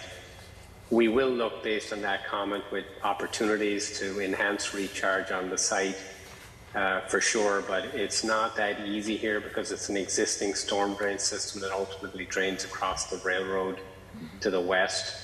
Uh, but based on that comment, we, we certainly will look at it, you know, prior to the next hearing. What, what about, what about rain, rainwater basically hitting the roof surface and, and using that, using that rainwater as a um, holding tank, watering the plants? I mean, is there anything being done with the rainwater itself on the property, on the, on the, the structure? There's no proposal for cisterns here. It would probably be difficult. There's a lot. Um, uh, there's very little room to, to accommodate cisterns. Our experience with cisterns, which I think is what you're talking about, is that um, is that they store water when you don't need it, and they don't store it when you do need it. You know, for instance, the last six weeks, obviously we had very little rain, which is really when you want the cistern, and, and those cisterns are empty. So we've looked at on many, many projects and it, it really is not it really doesn't make sense. Again to the extent that the board feels we ought to look at it more we certainly can. We don't have a lot of room. The uh, the volume of water needed to be stored in order to um, in order to be available when when when you have um, times without rainfall is very large and becomes really uneconomical. Um, the Well, well, presumably uh, I mean, I'm just referring to even just using for, you know, watering plants and such as that. I mean, so, so at this Right. point, there's absolutely no, no reuse of any rainwater, stormwater, there's, there's nothing. And this is gonna be gold certified, but there's nothing, no reuse of any rainwater at all. It's a huge roof surface, but there's nothing. It's a reuse of an existing site, and that's why I don't believe under the LEED requirements there's a requirement for it here, and there is no increase in impervious as we noted. Um, Agreed. But again, we, you know, we'll take the comment and, and certainly take a look at it. Okay. Um, okay, uh, I won't talk about the immediate plans right now. Um, Mr. Chair, I just want to comment that I agree with um, what you're looking at. I mean, we have a problem here looking for a solution. And the problem being is, you know, what we saw as a town earlier, what we approved, voted on, and that was what we're seeing now. And, and so again, we have a problem looking for a solution.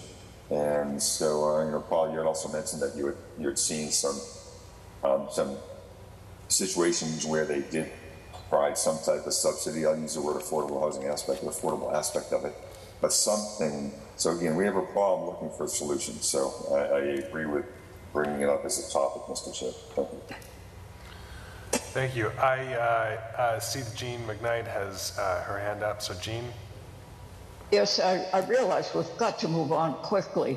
Um, I want to give an idea of what my comments are, but perhaps they won't be answered uh, at this meeting. Um, first of all, the assertion that uh, assisted living is a use that's allowed by right in the underlying district.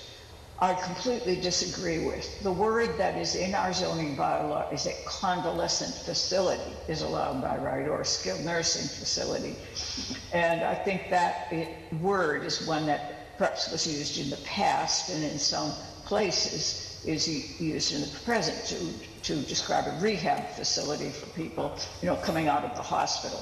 Jeanne, That's uh, not what's Jeanne, let me, proposed here. Jeanne, let me just give you a, a 30-second response so that you can maybe think about this uh, between now and the next meeting. the reason that we say that it's allowed as of right is that if you look in the definition of assisted living in the bylaw, the definition of assisted living is a type, it's a subset of uh, convalescent or nursing home under the town bylaws. So convalescent or nursing home, as defined in the town bylaws, includes assisted living. It inc- I'll review that again, uh, but I did read it, and that's the conclusion I came to. Um, But uh, I will read it again. Well, Um, again, the only other thing I would say is. Mr. Hu- we Mr. don't- Huber? We don't want to debate I, this. ju- I just, I, I, I understand you don't want to debate it. She's raised a comment. She's not looking to engage. She just wants to raise her comments. Fair enough. In the interest of time, I'd like uh, uh, the vice chair to continue. Jeanne? Yes, um, I note that um, the traffic report indicates that the uh, level of accidents at the uh, intersection of West Street and Hillside Avenue is very high. It's higher than um, the state average for uh, unsignaled intersections.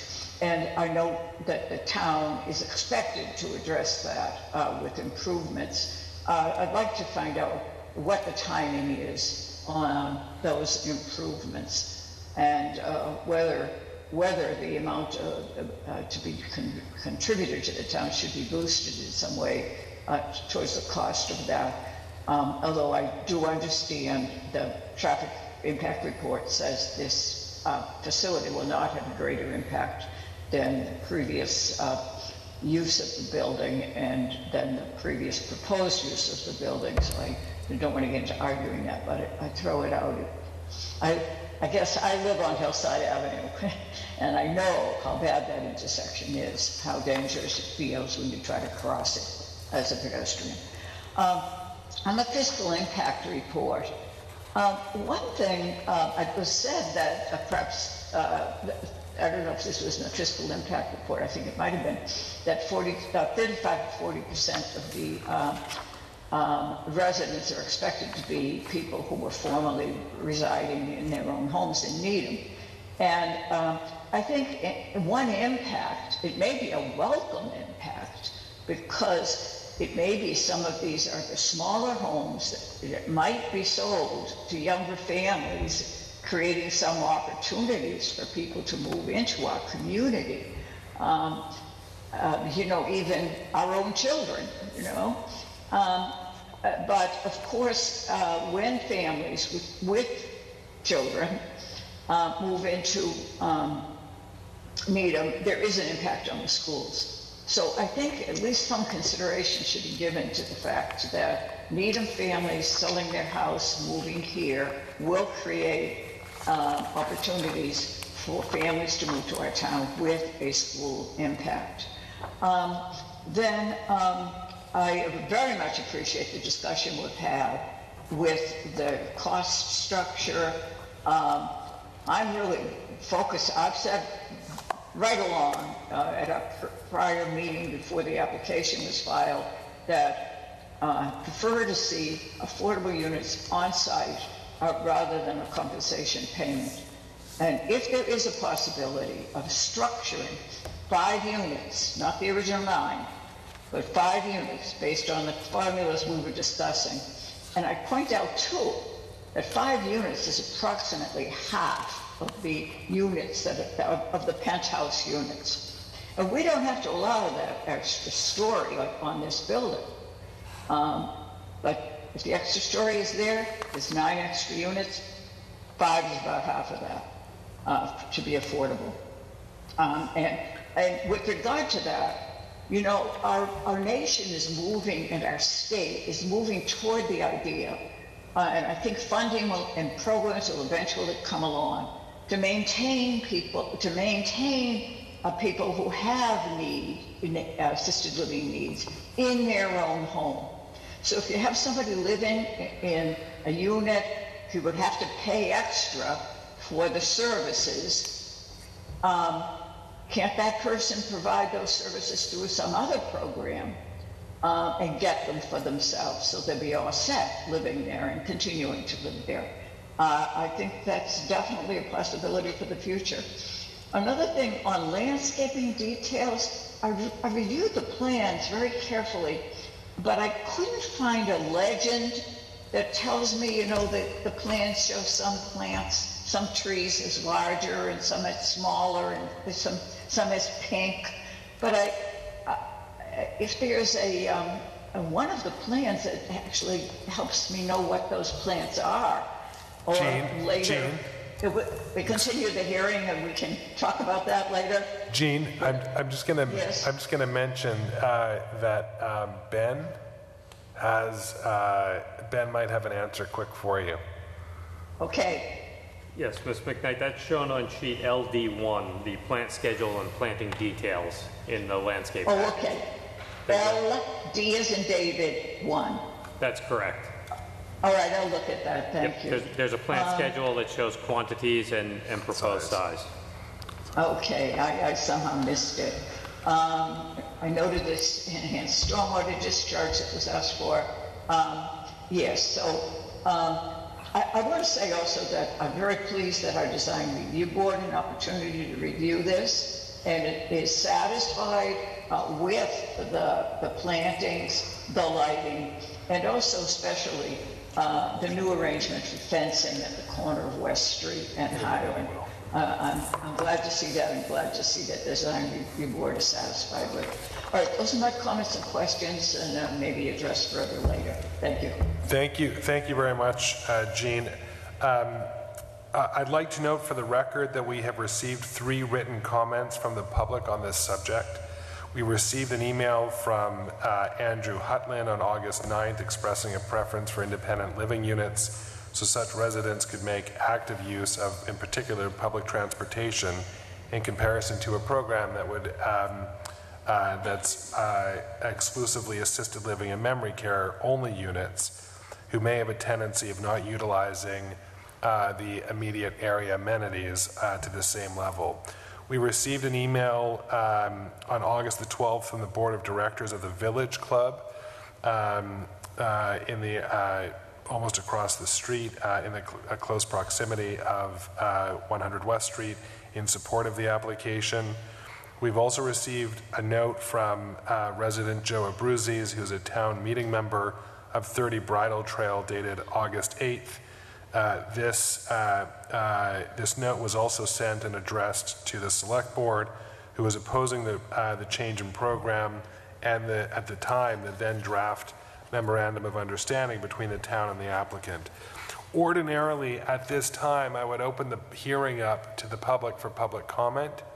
Um, uh, However, I note the time, we're well past, we're almost at 8:45. Our second hearing was scheduled for 7:45 this evening. So what I would like to do... Mr. Chair, I'm not, I'm Mr. Artie, Artie, I'll, I'll come to you in a moment, okay?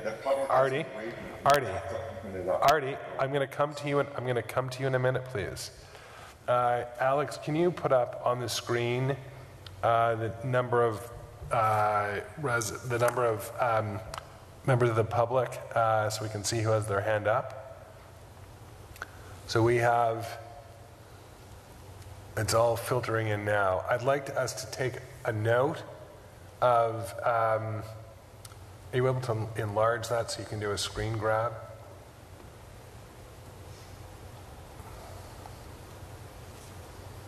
Well, I'm not gonna screen grab it, but I can see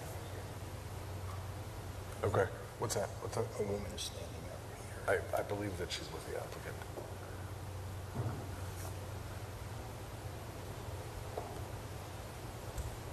So, um, are we able to take a screen grab or something? Okay, great. So, um, Mr. Chair, Mr. Chair, we have to allow the public to comment. We have to. We have to allow the public to comment. They've been waiting a long time. And, and, and the, and the presentation by the, and the presentation went, went on quite a long time. I understand we have some, we have some comments there, but it went quite a long time, much, much over the time period. We- Artie, I understand that. I'm not denying the public an opportunity to speak. I hear what you're saying. Uh, and yet, if we have a motion to continue the hearing, then we can continue at that point and start, uh, and start with, uh, uh, start with public comment, unless we start with addressing some of the, uh, the next hearing, some of the, answer some of the specific questions that may have come up. But otherwise, at this point, I would, I would entertain a motion to um, continue the hearing to September 20th at 7:45. So moved. We have a motion on the floor. Second. We have a second. Uh, Any discussion? I, I just, I to, I totally disagree. I think we should at least have 15 minutes of public comment, and just at least 15 minutes of public comment. And I understand we're running along, I get that, I appreciate that, but they've been, he- they've been here for a long time, listening to them for a long time now. We should at least allow 15 minutes of public comment, and then continue it, then continue the additional public comment. It is not, it is not fair that all these people are here at this point expecting to have public comment and they're having none. That's, that's not right. We should at least have 15 minutes of public comment. We can keep things brief and go that way, and then continue more later on. Um, Needham Bank is not going to take a long time. Right, I understand. Um, Okay. Mr. Chair? Yes. If you'd like a response. Yes, Madam Chair, uh, Madam Vice Chair? Um, I think the public, uh, it was not a waste of time by any means for the public to tune in to this meeting and to hear the presentation and also to hear the planning board's comments and questions. And um, I think it's, we have to be fair to the other applicant who's waiting to present tonight. And um, I think we want to make sure we, we uh, set aside a substantial amount of time at the uh, September 20th um, meeting to hear the public here on this. No, no one said it was a waste of time. I'm saying it's not fair for the public to be here for this long. We should at least allow 15 minutes, at least 15 minutes. I, I, we can continue. Artie, I understand what you're saying. I don't want to continue to, to waste further, further time talking about how much time we have. Uh, can you, uh, uh, Alex, can you scroll down a little bit so we can see how many more members we have with their hands up? Our participants, is it, is it seven at the top? There's seven? Okay, so, uh, uh, Paul, would you like to withdraw your motion? Or now that we have a second, we actually have to come to the vote? I think we should, we should have a vote. But don't ask me first. You're alphabetically, you're in alphabetical order. I think, I think what I, you know what, I think procedurally we have to go forward with the vote, and I think I know how this is going to go, so I ask my uh, colleagues uh, to, uh, I, I, I just want to comment that if there's anybody who wants to comment, who feels that they can't be here on September 20th, please give us your comments in writing. They will be read into the record. They will be part of the record. You don't need to verbally make your comments. I understand people like to do that, but, but, um, uh, and that email address, they can submit their written comments, is planning at needhamma.gov. Needham, rather, planning at needhamma.gov. I appreciate that. I'm going to uh, call the roll. I am going to start with you. That's perfectly fine. Paul Alpert. um, so the motion is to continue, and I'm going to vote aye. You're going to vote aye? Yes. Oh, okay. Artie Crocker. Uh, no. Uh, uh, Natasha Espada is not with us this evening, so Jeanne McKnight? Aye. Vote aye. Uh, and the chair votes aye. Uh, so the motion carries. We are continuing the hearing to um, uh, uh, September this 20th at 7:45. Lee, is that the correct date and time? Yes. Very good. Um, Not how the vote I was expecting to go, but nevertheless, uh, that's where we are. I do appreciate that people have uh, participated tonight, that they have, uh, that they have observed tonight, that they're participating in the process. I apologize that we have run out of time uh, this evening to, uh, to get to the public comment. We do look forward to picking this up uh, at, uh, on September 20th for public comment. Um, We thank the applicant uh, for, for coming this evening, for being here, for uh, all of the people on the applicant's team. Uh, uh, Thank you very much. Um, Very good. Mr. Chair, may I ask for a five-minute break? Yes. Uh, uh, We stand in recess for five minutes.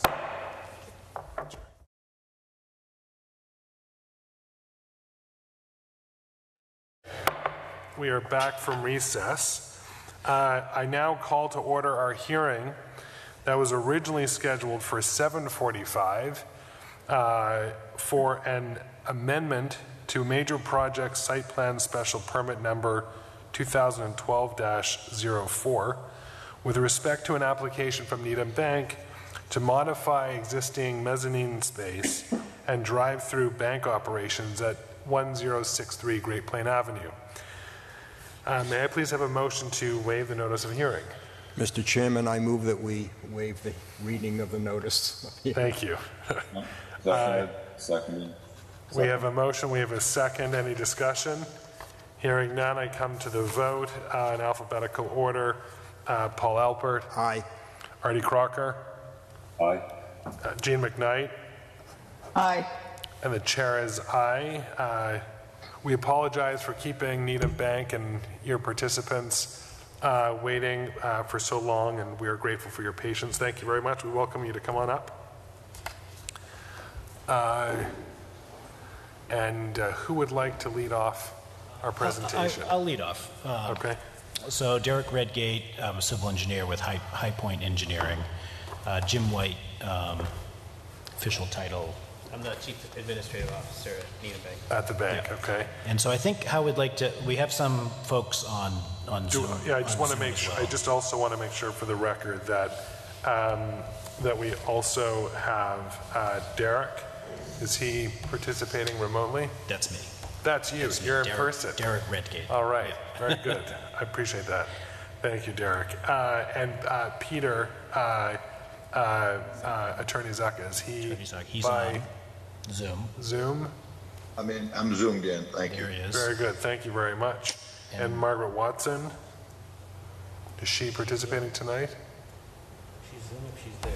She was here and tried many times to move her over and she looks like she's disappeared entirely. So we'll give her another moment, and then uh, Ronald Quicaro? Yes, I'm here. All How are right, you? there you are. All right, very good. So we'll wait, Alex, if you uh, see Margaret populate, if you could bring her over with privileges, that would be helpful. And then in the meantime, oh, someone else? Um, Can I just double check? I just sent uh, Alexandra a presentation for reference if necessary. Did you receive that, Alexandra? Uh, She's just checking her email now. Okay. We, Ron, we, we spoke um, in between, and she has the ability to pull up our original application. So I, th- that, Okay, that should fair do the enough. same thing. Great, thanks. Next time you want me to participate in your presentation, please, please give Yes. advance notice. Live and learn. Understood, uh, and good point. Um, So, I think we'd like to have Mr. Zahka go first for Okay. our presentation, and then um, follow up with myself, the civil engineer, mainly for site circulation, which seems to be the crux of this project, and then uh, Ron for any architectural questions. okay, so we'll give Alex a minute to, very close. There's the application.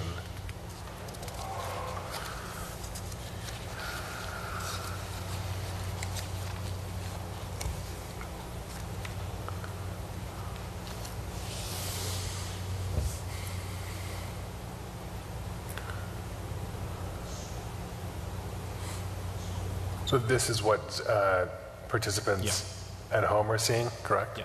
So um, if you scroll down um, to of, of the plan that's, I think it's C100, it should say layout and materials, that's probably the best one. That's where she's at already. Yeah. Sorry, it's C200. C200. Yeah. We're at C100. Our system takes a moment to reload.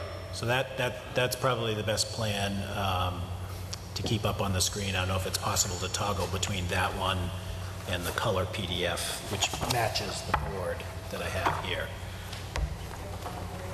Okay. So we could keep that one up and, oh, I'm sorry.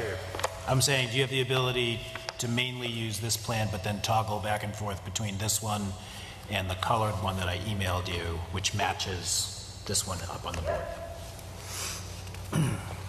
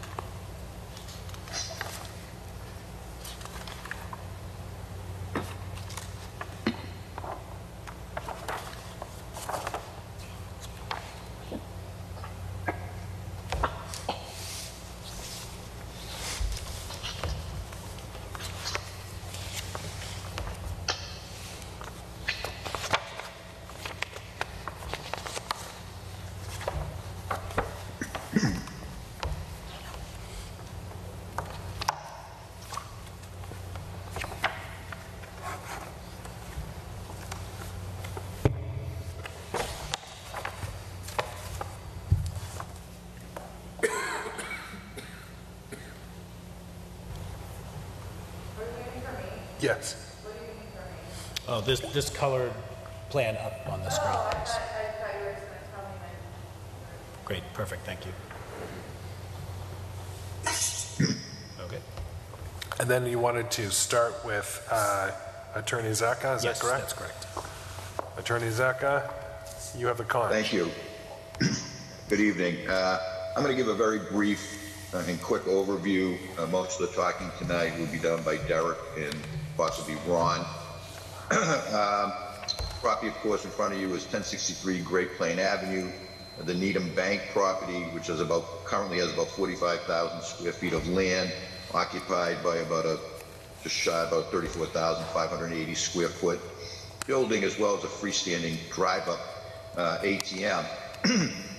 What we're proposing this evening, as you'll see, is to increase floor area on the site by under 1,700, just shy of 1,700 square feet, which consists of ex- an existing, uh, me- taking an existing mezzanine within the building and converted, converting that to executive offices of about 1,365 square feet, and adding an existing drive-up freestanding automatic telemachine that's there now will be removed, and we'll add a 321 square foot drive-up teller building with the new drive-up ATM.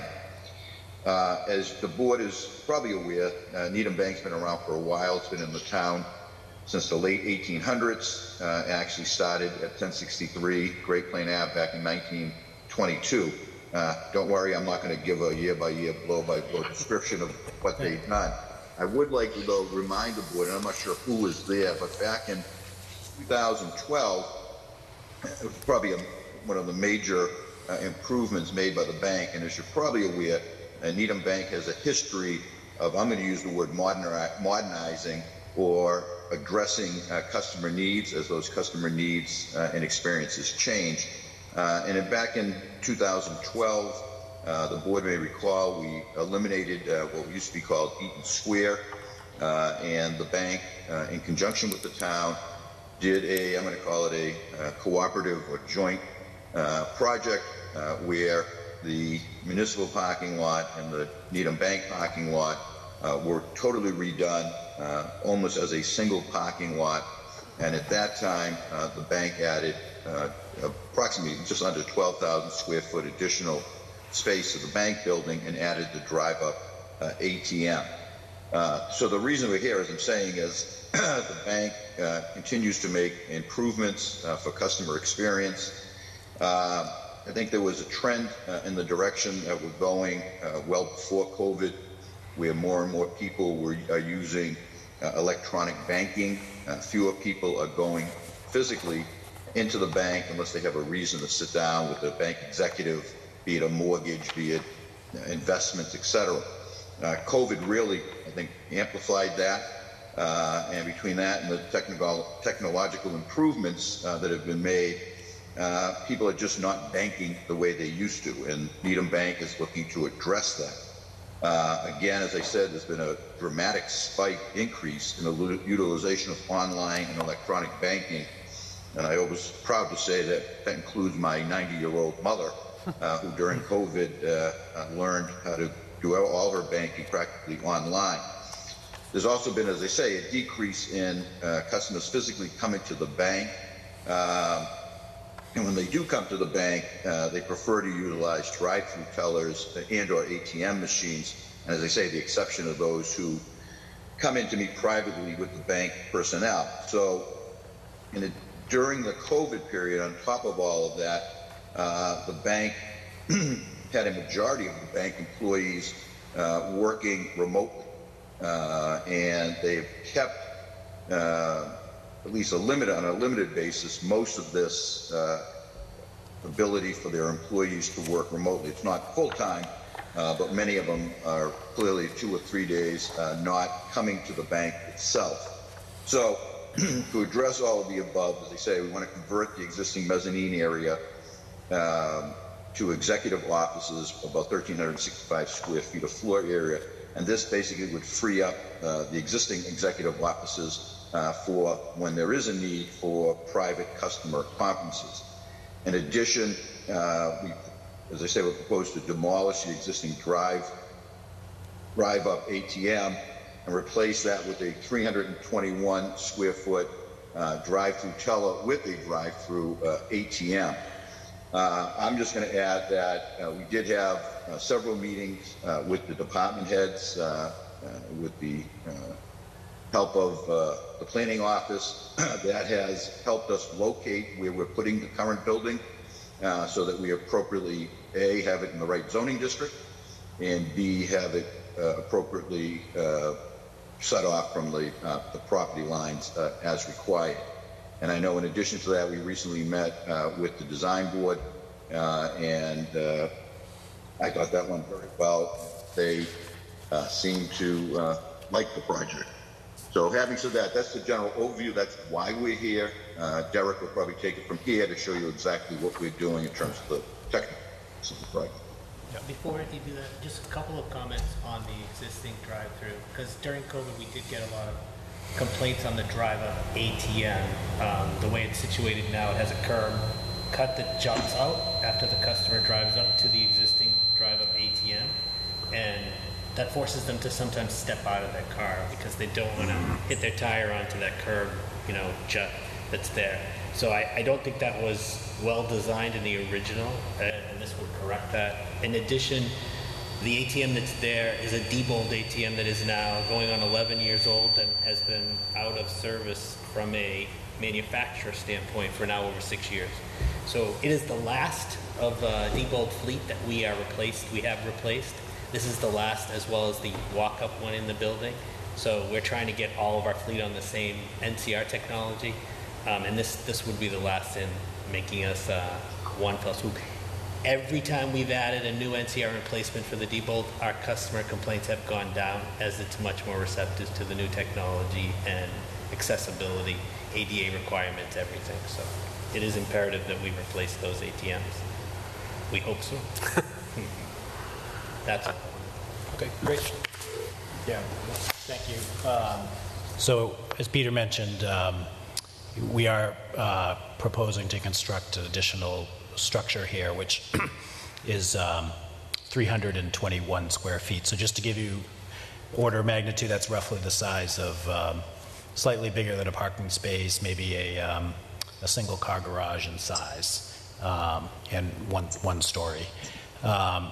We had the benefit here of um, an existing parking lot, pre-developed, very few grade changes in the parking lot, a flat area to work with. Um, Also sort of the benefit of, of siting, um, siting the building um, in between two existing curb cuts, and the parking lot in general has great sight distance anyway. You can sort of see the whole lot from, um, from anywhere within the lot. So that was a real benefit to, to where we were siting it and how we were going to um, look at site circulation. So I, I'm going to focus mostly on the revisions and the safety of the site circulation. I think that's the, um, the important aspect here. So um, I'm going to try to explain it and point at the same time. Um, currently, the uh, ATM single drive-up ATM is in this area, and that's exactly where we're also proposing um, the new building. Um, So to use this facility, you would, Great Plain Avenue is down here, here's Garden Street. Um, This is currently already a one-way entrance into the bank parking lot. You would decide uh, whether you were going to go to the ATM or the uh, teller somewhere um, right as you enter the site, or you would continue into the parking lot in a one-way circulation pattern. Um, You would continue on the one-way circulation pattern um, in a counterclockwise direction, um, or you could continue in a two-way for the rest of the parking lot. Um, So some of the improvements that we've made, um, we needed a little more area. We tried to minimize it. We needed some more area to, to site the building, so we did have to um, eliminate five parking spaces um, from the, from the current layout. Four of those spaces are in this area to accommodate the wider uh, width that we needed, but we also didn't, we also wanted to provide some landscaping and um, maintain the walkway. Um, You would decide at this point whether to go to the ATM machine or the teller window, and so cars would be in this area here and here, uh, potentially a few queued up. Um, We don't expect any major queues. Um, And then you would leave the facility through the second, uh, second curb cut. Um, The second curb cut would remain as it is with a two-way um, in-out curb cut. Um, However, the change we would make would be that you could no longer take a right to enter the site and circulate, that you would have to take a excuse left here. me, excuse me, Mr. excuse me, Mr. Chair. I um, I, I can see what's going on, I can tell what's going on, but the fact that the, uh, the physical one in the auditorium is being pointed to versus the one that's on the screen doesn't, doesn't allow people via Zoom to actually go to see what's going on. Be better, it'd be better if that's off the screen and the camera could focus on the one that's in the, in the room, if that's the one that's being pointed to by the marker. So, so I just wanted to, wanted to relay that these people on Zoom can't really see what's going on. I, uh, you know, we have to deal with the limitations of what we have. Um, I understand, I understand that, and, and, and dealing with it is by doing what I just said. Yeah, Ver- that's a good point. Um, uh, uh, What's on the screen, can't it match what's being discussed, or is it some, There's, in, the- in the room, there's something different, Jeanne.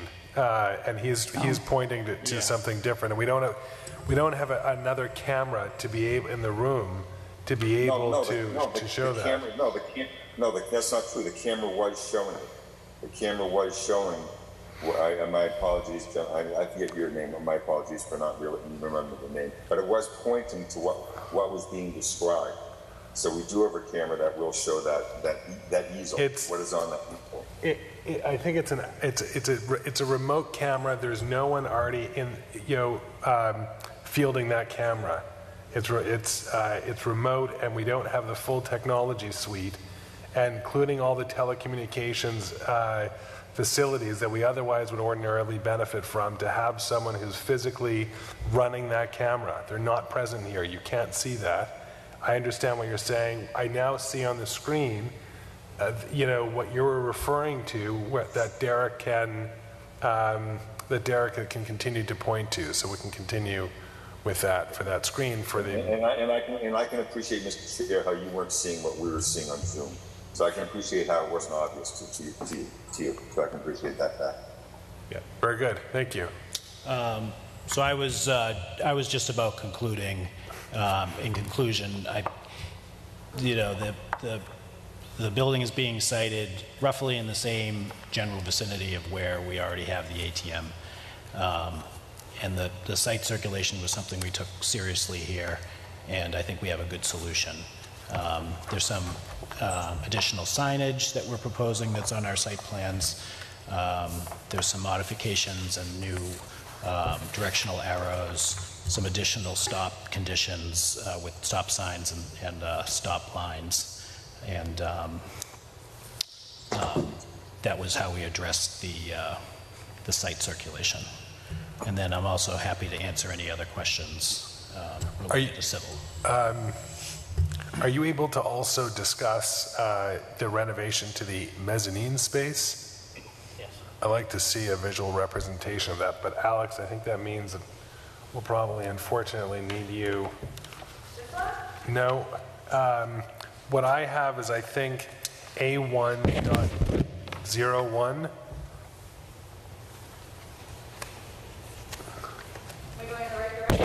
Yes. Yes.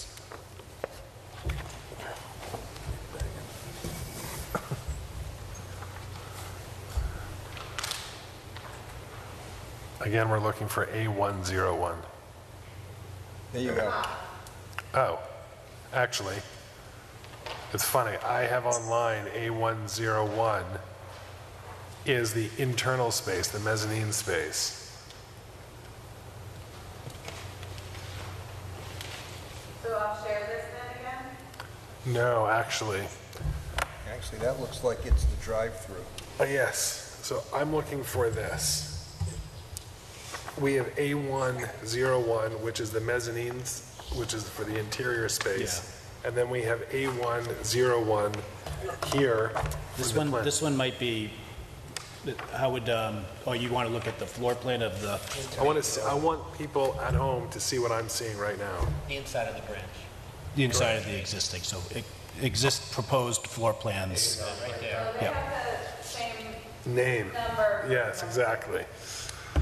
All right, thanks, Alex. Yes. uh, So, um, Ron, you want, you want to take this, or do you want me to? No, I can, I can speak, you know, kind of briefly to this as an overview. So, um, thank you for whomever got this right image up. Um, the floor plan on the right, there's two floor plans. Floor plan on the right is, uh, the first floor. Floor plan on the left is the second. Um, there's, uh, uh, kind of groupings from um, the front of the building to the to the rear of basically clustered buildings and additions over the years. Um, the subject area we're talking about is in the lower left-hand corner, which is the corner of uh, Great Plain and Garden, uh, if I'm remembering them correctly. Um, essentially, that lower left quadrant that lower left corner that you see on both the right hand side and the left hand side, specifically the left hand side we're speaking to, um, is today a double height space. Um, it is, you know, two stories in height, a single story, but you can see all the way up to a, um, what would, what could be a second floor ceiling. So we're taking advantage of that volume and adding this um, intermediate floor. Um, there are a few executive offices, I think three in total, or two, two in total with some support space, a conference room, some waiting area, and then an opening to the floor below. That's that kind of X you see in the plan. So that's essentially the interior program increase that we're referring to. Does that um, answer your question? I, th- I think so. On the page before that, um, Alex, I apologize. That would be uh, 0100. On the bottom left, that says open to below. So that's the existing condition, if I understand correctly. What you're proposing is to eliminate that two story entranceway and to um, uh, add support so then you can then add onto that onto the second floor a mezzanine. space that includes uh, um, there's still a section that's open to below but there's an admin office an area for coffee um, another office another office with like a conference table and then another conference room. So that's and that accounts for your 1,300 or and change internal mezzanine square foot renovation. And then Yeah, well, so what you said, what you said is generally correct. Just to clarify, the, the two-story entry that you see today will stay. It's the space just to the left of that where the main teller area is that we are taking advantage of the open to below that you referred to. Put the X on it. So part of that space with the X on it now is going to be utilized as finished space. Yes. Right. They- they Actually, if you look at the, if you look at that second floor existing plan, there's two X areas, there's two X's. There's a sort of small X, the small X, smaller narrow X is the double story or two story entry, that stands. The bit larger I X understand, to the yes. left is the subject area. Yes, exactly. That's right. I understand that. Thank you very much. I don't know if people at home can see that because we're not able to point to it online, but I think that, oh, there we go. Alex, thank you very much. And then, um, and then on the next page,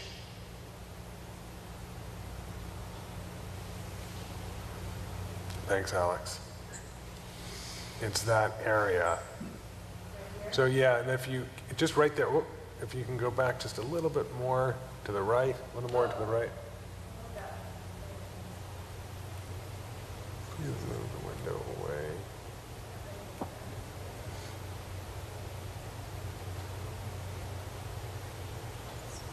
Technical difficulties, we appreciate your patience.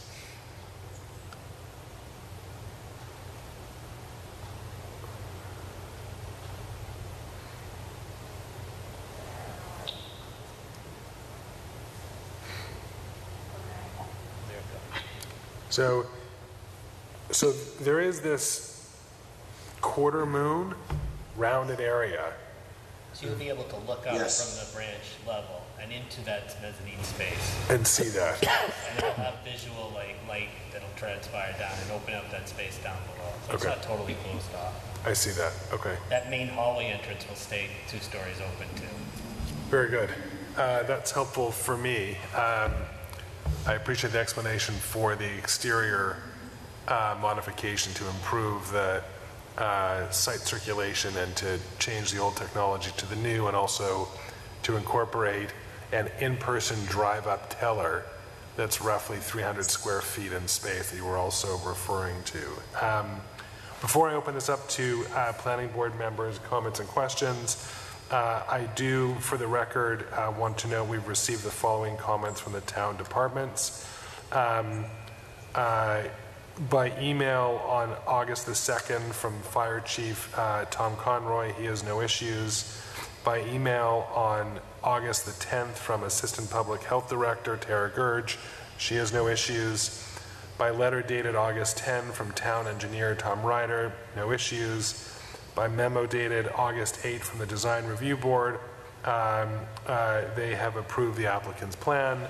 Alex, I, I'm putting you on the spot here, or Lee. Do you recall whether we received anything from uh, Police Chief Schlittler? Yeah, we received something on Monday and I had it in the packet on Monday and it was no comment. And it was no comment. I saw, uh, I saw that from the fire chief, I think. Uh, Or I did see that, I think that was for another project, but I, that's, I appreciate you confirming that was also for this one. All right. Um, So now I'd open this up to my co- my colleagues for any comments or questions. Paul, do you have any comments or No, questions? no comments or questions from me, I'm fine. Artie Crocker? Uh, no, just, just one minor one, that is, uh, and my apologies if I missed this, just one, one very minor one. And that is this related to the perm, you know, is there any permeable increase? Yeah, is, or, sorry, is there any impermeable increase in surface area here at all? Are you simply shuffling pavement around and keeping the same, let's say, green space, planter, planters, plantings? Because, I mean, I understand why you're doing it, I think it's fabulous, I'm just, Yeah. and I think I heard you comment about some plantings, but if you just readdress that, please. Um, I don't have the exact number uh, in front of me. Uh, There is a very, very small increase in impervious area. Um, Insignificant and de minimis, I would estimate it's in the, you know, 200 square feet. So the, there's a little bit of uh, um, moving around. Um, The, the- the new building isn't entirely new impervious, um, but it's, uh, there is a slight increase. Artie, do you have any other questions? But, but you are dealing with some plantings around, you're, you're dealing with some plantings around the building? Something to that effect, I believe.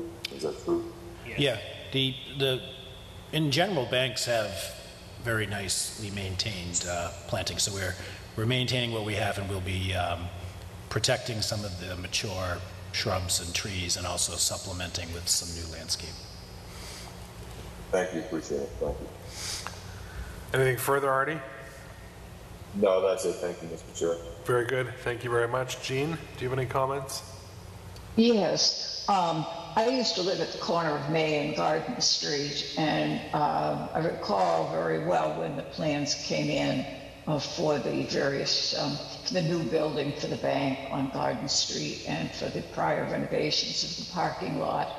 Um, and first of all, I want to say how what a wonderful building that new bank building is on Garden Street, and how well it fits into the neighborhood, considering that you know residences across the street. So I know it's your intention to do a good job here, um, but I'm was looking. I'm looking at sheet five A five dot oh one, which is the uh, after view from Garden Street. And I'm recalling that the neighbors, particularly those who lived right across from this, um, uh, were very concerned about um, uh, trees and shrubs along the edge, wanting to see them, screening the parking lot, etc. And when I look at uh, A501, um, I don't see any plantings. I mean, I, at least I don't see any that are right in front of the building. Just, uh, uh, Gina, Jeanne, I'm going to stop you right there for one moment, please. So that, Alex, that's perfect. I just yeah, want. that's what I'm talking about, that plan. And then also the, there is a, um, a landscape plan, uh, L101. You don't have to turn to it, but I, I think my question will be understood. Um, there's a, uh, a note, a note existing um, eh, uh, um, existing honey locust and et cetera, to be relocated. And it's not clear to me, is, is there an existing tree or trees that separate this area that's going to be for the drive up from Garden Street? And will, those trees aren't shown on any of these plans that I can see um, on A501. But are there trees? Will they be retained? When the legend speaks of relocating, are they going to be relocated somewhere else on the site? Which wouldn't be good because the whole idea is to provide screening on the edge for the sake of the residents of Garden Street. D- Derek, can I speak for one, 30 seconds and then I'll defer to you if Sure, that's no okay? problem. Okay, so I I just want to mention, in, you know, in regard to A501, um, I think, you know, I, I understand your concern, your point. Um, I would say the site plans and the landscaping plans uh, that are submitted fully supersede these drawings. These drawings are intended to sort of reveal and expose and study the, the architectural structure. Um, if we were to, in fact, veil that with plantings as they are planting, as, as Derek will probably walk you through, we wouldn't really be able to study the building. So um, if you can look at these four drawings on A501 as just about the building um, and not about the screening of the building, they, that is not included or explored whatsoever on these four drawings. So Derek, if you could talk about the plans from there, that would be helpful. Sure, yeah, I was going to say the same thing. The purpose of these plans was more the materials of the building. Um, So they do not include um, our intention for the landscaping. Um, The landscaping, sheet L100, um, was designed by our landscape designer. Um, The landscaping is quite robust. That was one of the design um, goals here, was to provide uh, um, uh, plantings and screening between Garden Street and the, and the new structure. There are some nice honey locusts that aren't so big that they cannot be uh, replanted. So that's some of the notation on, of the honey locusts is that we would, we're gonna, we're gonna keep them. There's, I think, three of them there existing. And um, one in particular will be maintained and kept in the same general vicinity, uh, but does need to be replanted. And then in addition to that, um, we're supplementing what's already out there, so it'll be an improvement. And um, the lot itself, where we're removing five spaces, we're actually increasing um, some of the island areas, which will uh, uh, also be uh, landscaped as well. Okay, yeah, I did notice that. But um, if you just focus on the, um, the setback area between the building and Garden Street, um, uh, is, am I reading L100 correctly? Will there be three trees or four trees or what? You're reading that correctly. I believe there's three now, and um, I'm looking at it right now. There'll be there'll be three in the final condition. Okay, and then there'll also be the various bushes that are shown on the landscape plan. Correct. Bushes and perennial grasses. Yes. Okay, thank you for that clarification. Appreciate it. Okay. Uh, Does anyone else from the board have any comments or additional questions? Um, uh, At this point, I'd like to turn to uh, the public. Um, uh, Alex, do we have any, I apologize because you've been kind of running their presentation for them and trying to keep our, uh, Just have one attendee who is not raising his hand. okay. So uh, I I look in the room, we don't have anyone here with a hand up. Uh, So um, with that, uh, i- is there, uh, um, do we have sufficient evidence to, and testimony to close the hearing and decide? Mr. Chair, I move we close the hearing. We have a motion to close the hearing. Do we have a second? We have a motion by Paul Alpert, a second by Artie Crocker. Any discussion? Hearing none, I'll come to the vote in alphabetical order. Paul Alpert? Aye. Artie Crocker? Aye. Jeanne McKnight? Aye. And uh, the chair is aye. The hearing is closed. We thank you both for coming. Thank you, all three of you, for coming, and thank you for uh, the Needham Bank uh, people that were here online on Zoom, uh, the specialists. Good to meet you, Jim. Derek, thank you very kindly. Thanks for coming. We apologize for the delay and appreciate your patience. Great. Thank you. Thanks very much. Very good. Quick question: Do you, as a as a process, do you um, put it on the next agenda to finalize um, conditions? Is that your general practice? So, uh, so I think, uh, uh, Lee, um, when would you intend to schedule I think our, I think our goal and our plan, our, our goal is to have this, um, a draft decision in front of the board, um, on September the seventh, when they next meet. We have another hearing on September 7th, is that correct? That's what you just said. We have another hearing, but I think the goal would be to get the decision on this project, you know, on your agenda so that you could vote it on at that meeting. Okay, very good. Thank you. So that would be the intent so far. Um, Drive carefully. Thank you. Exactly. Time is of the essence, so I um, add that. Understood. Well, we're in a drought, so. Yeah, The exactly. plantings might have to wait. Rain's coming. Thank you. I hope Thank so. you very, thank you very kindly. One lips to God's ears. Thank you. Have a good night. At this point um, in our agenda, uh, I uh, turn to the request uh, to release the uh, uh, bond for Hutter Ridge, uh, located at 1135 Webster Street, um, uh, the definitive subdivision. I note for the record that we've received, we received a, rec- uh, a rec- um, uh, a letter from April 7th, from uh, April the 5th, rather, from our town engineer acknowledging the work, I think it was uh, uh, com- uh, acknowledging that, that uh, I think on the 5th, that they were going to go through for uh, town meeting to accept uh, the road, and um, a letter from town engineer on August the 10th uh, saying that the work is complete. And we have from July 25th, a letter from their attorney, John Connolly, uh, requesting release of the remaining $10,000 uh, on the bond. Um, Does anybody have any comments or questions about this release? So Lee, at this point, do we just take a vote to release the bond? At, at this point, in time, you just need to vote to release the ten thousand dollar, um, off, uh, performance bond.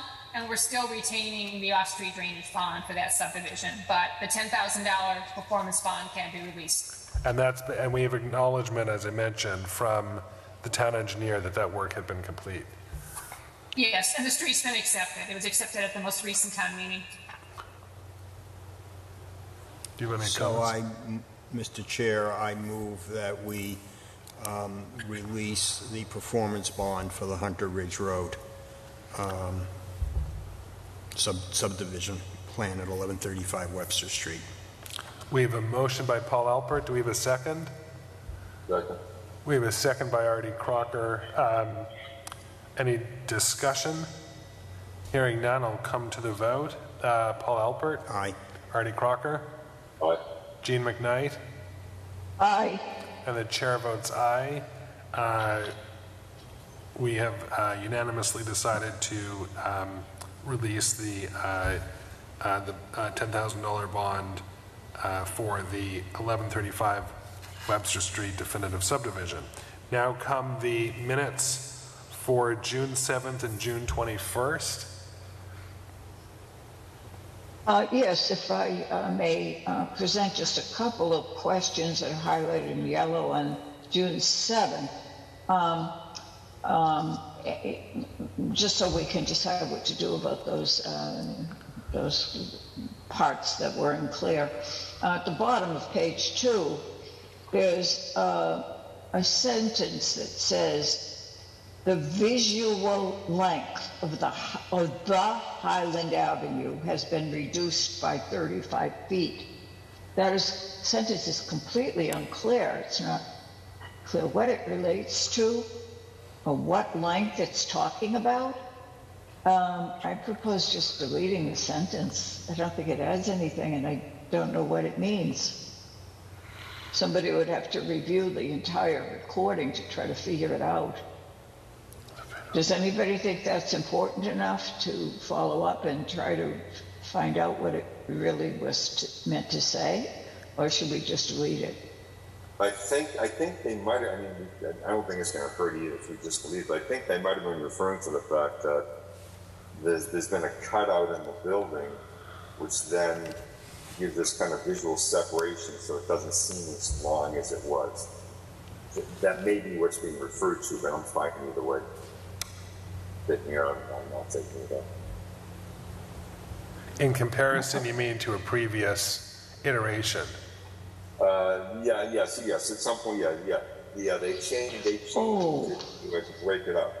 Yeah, they changed it to change visually break up the length, the width, of, the length of the building on Highland Avenue. I think you're right. You're you're triggering my memory, Artie. I think you're right. And so that maybe all we say is the visual length of the building.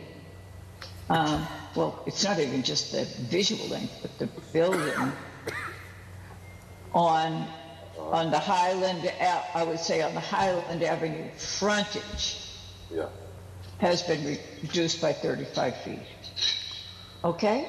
Very good. All right. Then in the in the next paragraph, which is right after that on route uh, uh, page three, I think it's just certain trees in the second line were misspelled. Um, I tried to uh, to Google and find a tree that's called linder, uh, L-I-N-D-E-R. There's no such thing. There's lindens and locust. Guess locust. I think you're right. Yeah. All right. Yeah, yeah, That's yeah. a pretty easy one. Talking about a map, a map terminology, got the free terminology. Okay, we'll make those changes. Um, on um, page uh, uh, six, um, uh, in the paragraph third from the bottom of the page six, um, um, Doug Fox's comment. He says in the second uh, line, he feels they should start at seven, and I think it might be a dot there. That he feels they should start at point seven. I think he's referring to floor area ratio. He was. And if He was. yeah, So we should, we just put in FAR, I think people would know what that means, okay? And, and Jeanne, to your point, um, whenever I, whenever in all the correspondences I have, engineering stuff I'm doing, whenever there's a point, I put a zero before it, so 0.7. Then it becomes quite clear that it's 0.7. That's a good idea. So if, if 0.7, okay. Um, then last thing, um, this is rather minor, but on page seven, um, the, Mr. Crocker is quoted in the second line saying, commuter bicyclists already bike with cars. Um, do you mean to, to say on roads or on roadways with cars? Uh, that's certainly what I'm, what I was referring to, that they, that they've learned, you know, that the, the commuter bicyclists have learned to be, be within the, the, the car lanes and use the, and use the laws, the, the laws of the road related to how bikes are supposed to be used. That's what it's referring to. Right. So is it sufficient to leave it the way you had it? Commuter bicyclists already bike with cars? Yes, that's fine. All right, we'll just leave it alone. I'm, Not I'm, make any fine, change. I'm fine putting on roadways with cars. I'm fine adding that in there. It's, it's, it's, uh, it sounds a little bit more, um, intelligent as far as what actually is going on. Okay. Jeanne. We'll make the change. Okay. Jeanne. That's clarity. That's it then. Jeanne, Jeanne, excuse me? Yeah. Uh, also, actually, on page four, you had a comment that we did not discuss. Oh, It's really? I might have missed it. Uh, Let's go to it. which is on the second paragraph. The sidewalks will be rebuilt from Oh, the. ma- thank you. You intended Yeah. to remove the, will be rebuilt from Highland Gould, from, oh, from the Highland, from the Gould Highland intersection to Noannet. Noannet. Yeah, is that, is that what's meant? Because from Gould to Nonet, um, doesn't really make sense because it's all Gould. Right? So they must be talking about the intersection of Gould and Highland? Nonet is the street that uh, comes right. into uh, Gould, right? So the rebuilding of the sidewalks would be Well, I think, I think it's, I think what you, I think what you've done is, it makes it, it makes it, it- I think it's appropriate, perfectly appropriate to, to cite an intersection down to a certain road. I mean, there- there are other ways of wording it, but there's nothing I, wrong with it. I- I'm, fi- I'm, fi- I'm fine with it. I just wanted to make sure that for the record Yeah, it was resolved. thank you, thank you That's very fine. much, uh, Adam. Very Okay, good. so we're good with, with this, with saying rebuild from the Gould Highland intersection to Noanette. Okay. All right then, uh, that, and the red, the red lining is just uh, non-substantive changes uh, for clarity or, um, or spelling or grammar. So uh, I move that we accept the minutes of June 7th, 2022 with the changes discussed tonight uh, as redlined. We have a motion, we have a, we have a motion by Jeanne McKnight, a second by Artie Crocker to approve the minutes of June the 7th. Any discussion? Hearing none, I'll come to the vote uh, in alphabetical order. Paul Alpert? Aye. Artie Crocker? Aye. Jeanne McKnight? Aye. And the chair votes aye. We've accepted the minutes of June the 7th. Uh, And Jeanne, the minutes of June 20, uh, as, as uh, discussed tonight um, and as redlined, uh, the minutes from June 21st, I don't believe had any comments, so did I I miss anything? I haven't had an opportunity to review them. Okay. And I haven't even read them. Oh, dear. So if others have read them and feel comfortable, to be my guest, but I'm going to refrain from voting on it. Very good. We'll take that up at another time. Uh, Thank you very much. Um, Lee, did you want to discuss uh, uh, December meeting dates? Uh, yes, we normally meet on the first and the third uh, Tuesday of the month. Um, and, but, you know, in December, we have the Christmas holidays. And the select board and the school committee have changed when they're going to meet, and they've kind of jumped on our schedule. So they're meeting on the 6th and the 20th, and the reason that that's important is that we are covered by cable, um, and they can only cover two boards. So they're covering the select board, um, and they're covering the school committee on what were you know, previously our dates. So I think we need to find alternatives for uh, that month. So there are a couple options. Um, one option is, you know, during the same weeks we normally meet, we choose a different day. We either meet on a Monday or a Wednesday, um, which is what I would recommend we do. The other option is to have them just one meeting that month, but I think that would that, that probably wouldn't that would probably be just too tight for us given our our current permitting schedule.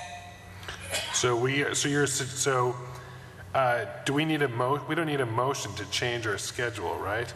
No, we don't need a motion. It's just I want to, you know, I want to put it, I want to agree on some alternative times because, you know, as, as projects come in and we're scheduling hearings, you know, a month or a month and a half out, I just want to uh, agree on what our schedule change will be in December. So I would propose that we do December the 5th instead of December the 6th and December the 19th instead of December the 20th? Does okay, that, so Monday. on Monday, correct, thank you. Um, The 19th is Hanukkah, according to the- my calendar. Paul, is that a problem for people of the Oh, Jewish faith? That's not a problem for me. Adam? Do you want to be home for Hanukkah for yourself? I have a 10-year-old, we'll light the menorah and, and do presents and pro- maybe Maybe something he in the can do it synagogue. here. That'd be adorable. I'd love that. Uh, Can we, And can the you check tree with town lighting. council to make sure that it's constitutionally permitted? What if we did the 21st instead?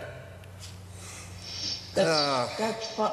That's getting awfully Fine. close to Christmas. I mean, Christmas is Monday, I think, so, you know, the Christmas weekend is, I'm, I'm just commenting on it. Um, So is Monday, December 19th, the first night of Hanukkah? Monday the 19th is the It first says night. first day, it says first day on my calendar, yeah. First Yeah. day.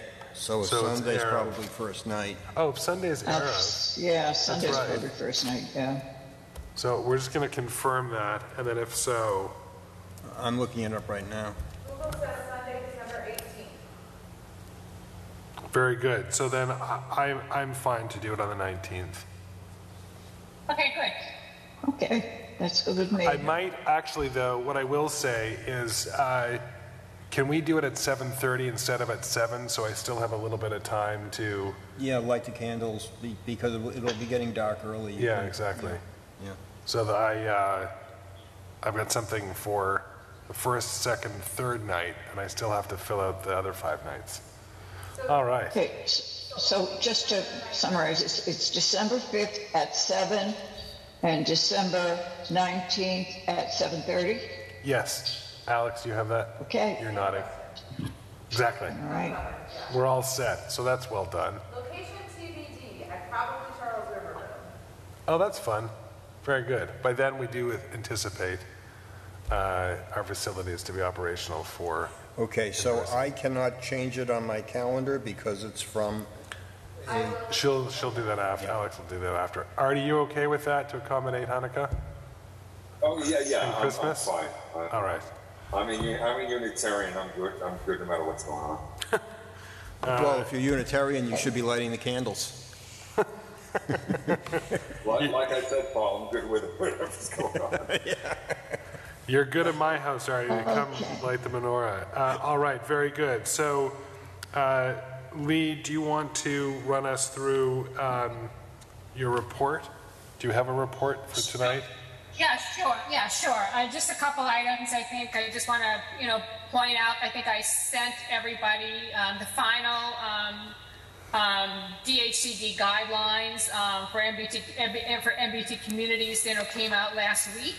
I think I sent everybody a copy of the actual draft guidelines, um, and we're, we're currently reviewing them to understand what their implications are for Needham. Um, I think there were two pieces of good news out of them. One is that we've now classified as a commuter rail town community, which means that the total number of units we have to provide has been reduced from, I think, around 2,300 to around 1,700. And also our deadline for compliance um, has been moved from um, December of 2023 out to, to out to the end of December of 2024.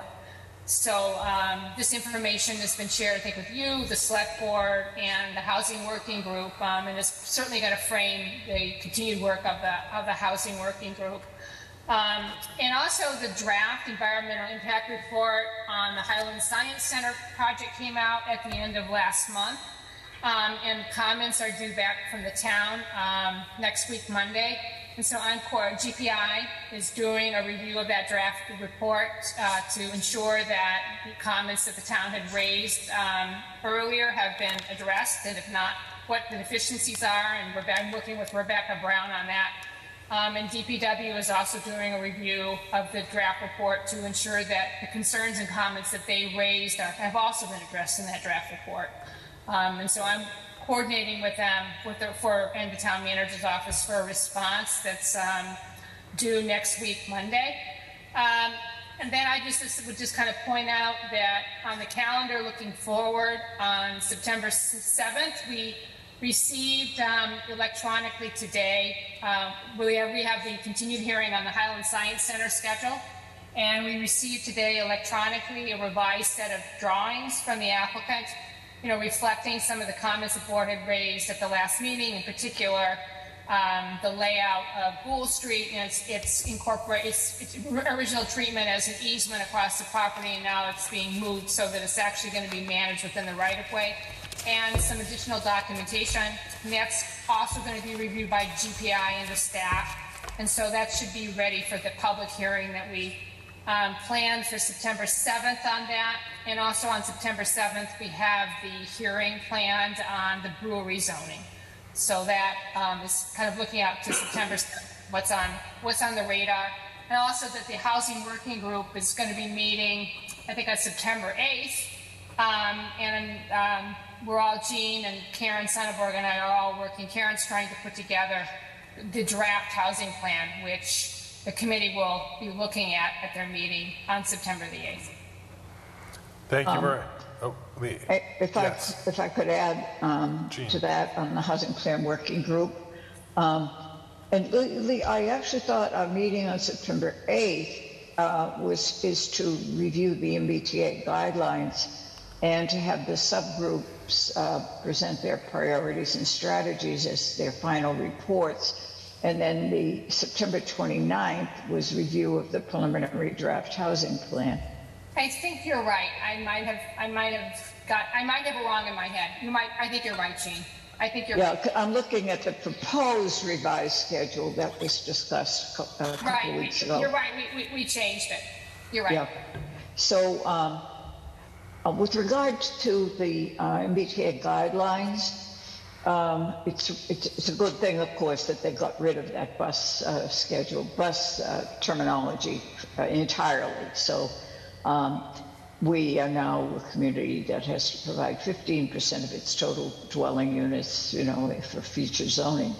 Um, but one of the mo- most difficult things, oh, I should also point out they, they've very much, very much fine-tuned uh, what the obligations are for various communities so that the, the smaller communities, especially those that don't actually have any mass transit in their towns, but only adjacent to the communities, their obligation has been greatly reduced. There's a table attached to the guidelines that um, very much fine tunes uh, those re- requirements for those small towns, but it hasn't really changed for Needham. But as part of that fine tuning, because we have so much acreage within a half mile of four tra- transit stations, um, actually we have to have 90% of our proposed uh, rezoning um, areas within a half mile area. Uh, and it used, the prior version made us think we could have, you know, half of it outside the area and half of it in, but now they want 90% within the area. And we're still dealing with, uh, we have to have a total of 50 acres and 25 acres of it have to be contiguous. Um, and that we're finding hard um, uh, to expand some of our areas so that they are 25 acres. So we're really struggling with that. Thank you. All right. Thank you. Um, We have, uh, Oh, excuse me. Um, one more question, Lee, on, um, on the Highland, whatever they, what are they calling it? The uh, Highland Innovation Science. Center. Um, Uh, Yeah, do the new plans show the new layout of Highland Avenue? I just got these plans today at four o'clock. I have not looked at them. They came in by, Okay. they came in, they came in electronically today, and the hard copies are being Less. dropped off tomorrow morning. So. All right. Well, I'm, I'm very, I'm very curious about that I because that's did, what. I did have a specifically a conversation with Rebecca to- to check the latest plans of record, um, to make sure that the layout, um, is consistent with the latest plans of record, so that your issue is, is addressed. Absolutely. And it's not my issue, it's compliance with zoning. Well, it's a compliance, it's, it's, well, it's the issue that you raised and brought to my attention, so it's being, Right, it's being, it's being looked at. Yep. Okay, thanks. Thank you very much, uh, Jeanne. Uh, And Lee, thanks for your report. Uh, For correspondence, we've received a letter from uh, Lee to Kate dated July 1, um, uh, acknowledging our uh, um, shared, uh, our support of some of the select board's goals, and in particular with the Housing Plan Working Group. Um, We've received an email uh, dated August 1 from David Lazarus with respect to uh, 484 Charles River Street. And we've also received an email dated uh, August the 2nd from uh, Cindy and Bill uh, um, uh, also regarding uh, 484 Charles River Street. Um, And that is our correspondence. Uh, Alex or Lee, did either of you have any other correspondence that we've received late in the game? Anything else? Uh, Very good. Does any board member have any other comments or questions?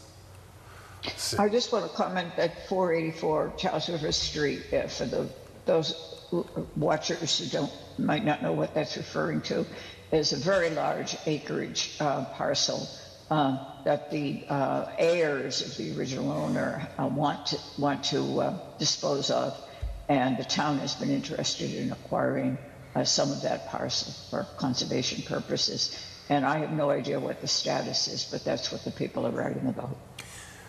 So let me fill in what I've heard about that. First of all, it's not just 484. There are also two, um, three, slightly more than three acre parcels that are, that front on uh, Charles River Street, so that it's a total of um, uh, around 20, 24 to 25 acres. Um, So what happened was that originally, uh, the property was on the market. Um, The town had uh, partnered with a land developer to make a bid. Um, The Foster family accepted bids. I don't know how many bids they got, um, but they went with the highest bid. Uh, I was told that they actually signed a purchase and sale agreement and got a deposit, and then the, the, the party that was going to buy it um, walked away from that deal. Uh, So it's back on the market at a slightly reduced price, uh, and the town is now uh, in discussions with the Foster family uh, to see, to see what uh, we can do. I believe, again, this is all just kind of hearsay evidence, um, but I believe that the town is still partnering with the same um, developer to try to have a, a, a partnership where the, the developer puts in a development of some kind and the town gets, gets some conservation land. Well, that's good news. Thank you for, for that, Paul. Thanks for the update. Paul, Paul- hey, Paul, at one point, I thought I heard that the town was also reaching out to some conservation groups and themselves to try to form some partnership as well. Did you hear anything about that? No, I, I have not, but that would be nice. I, uh, I serve on the board of the Needham Land Trust, and I haven't heard of any such outreach. Thank you. And thanks for the explanation of uh, uh, that geographic area and what people are referring to. Um, I know that many are, you know, interested in seeing that that, as much of that land as possible be preserved, uh, and yet it's on the open market, and the market forces tend to do as they do. Do we have a motion to adjourn? So moved. We- Second. We have a motion by Artie and a second by Jeanne. Uh, Any discussion? Hearing none, I'll come to the vote. Paul Alpert? Aye. Artie Crocker? Aye. Jeanne McKnight? Aye. The chair votes aye. We are adjourned.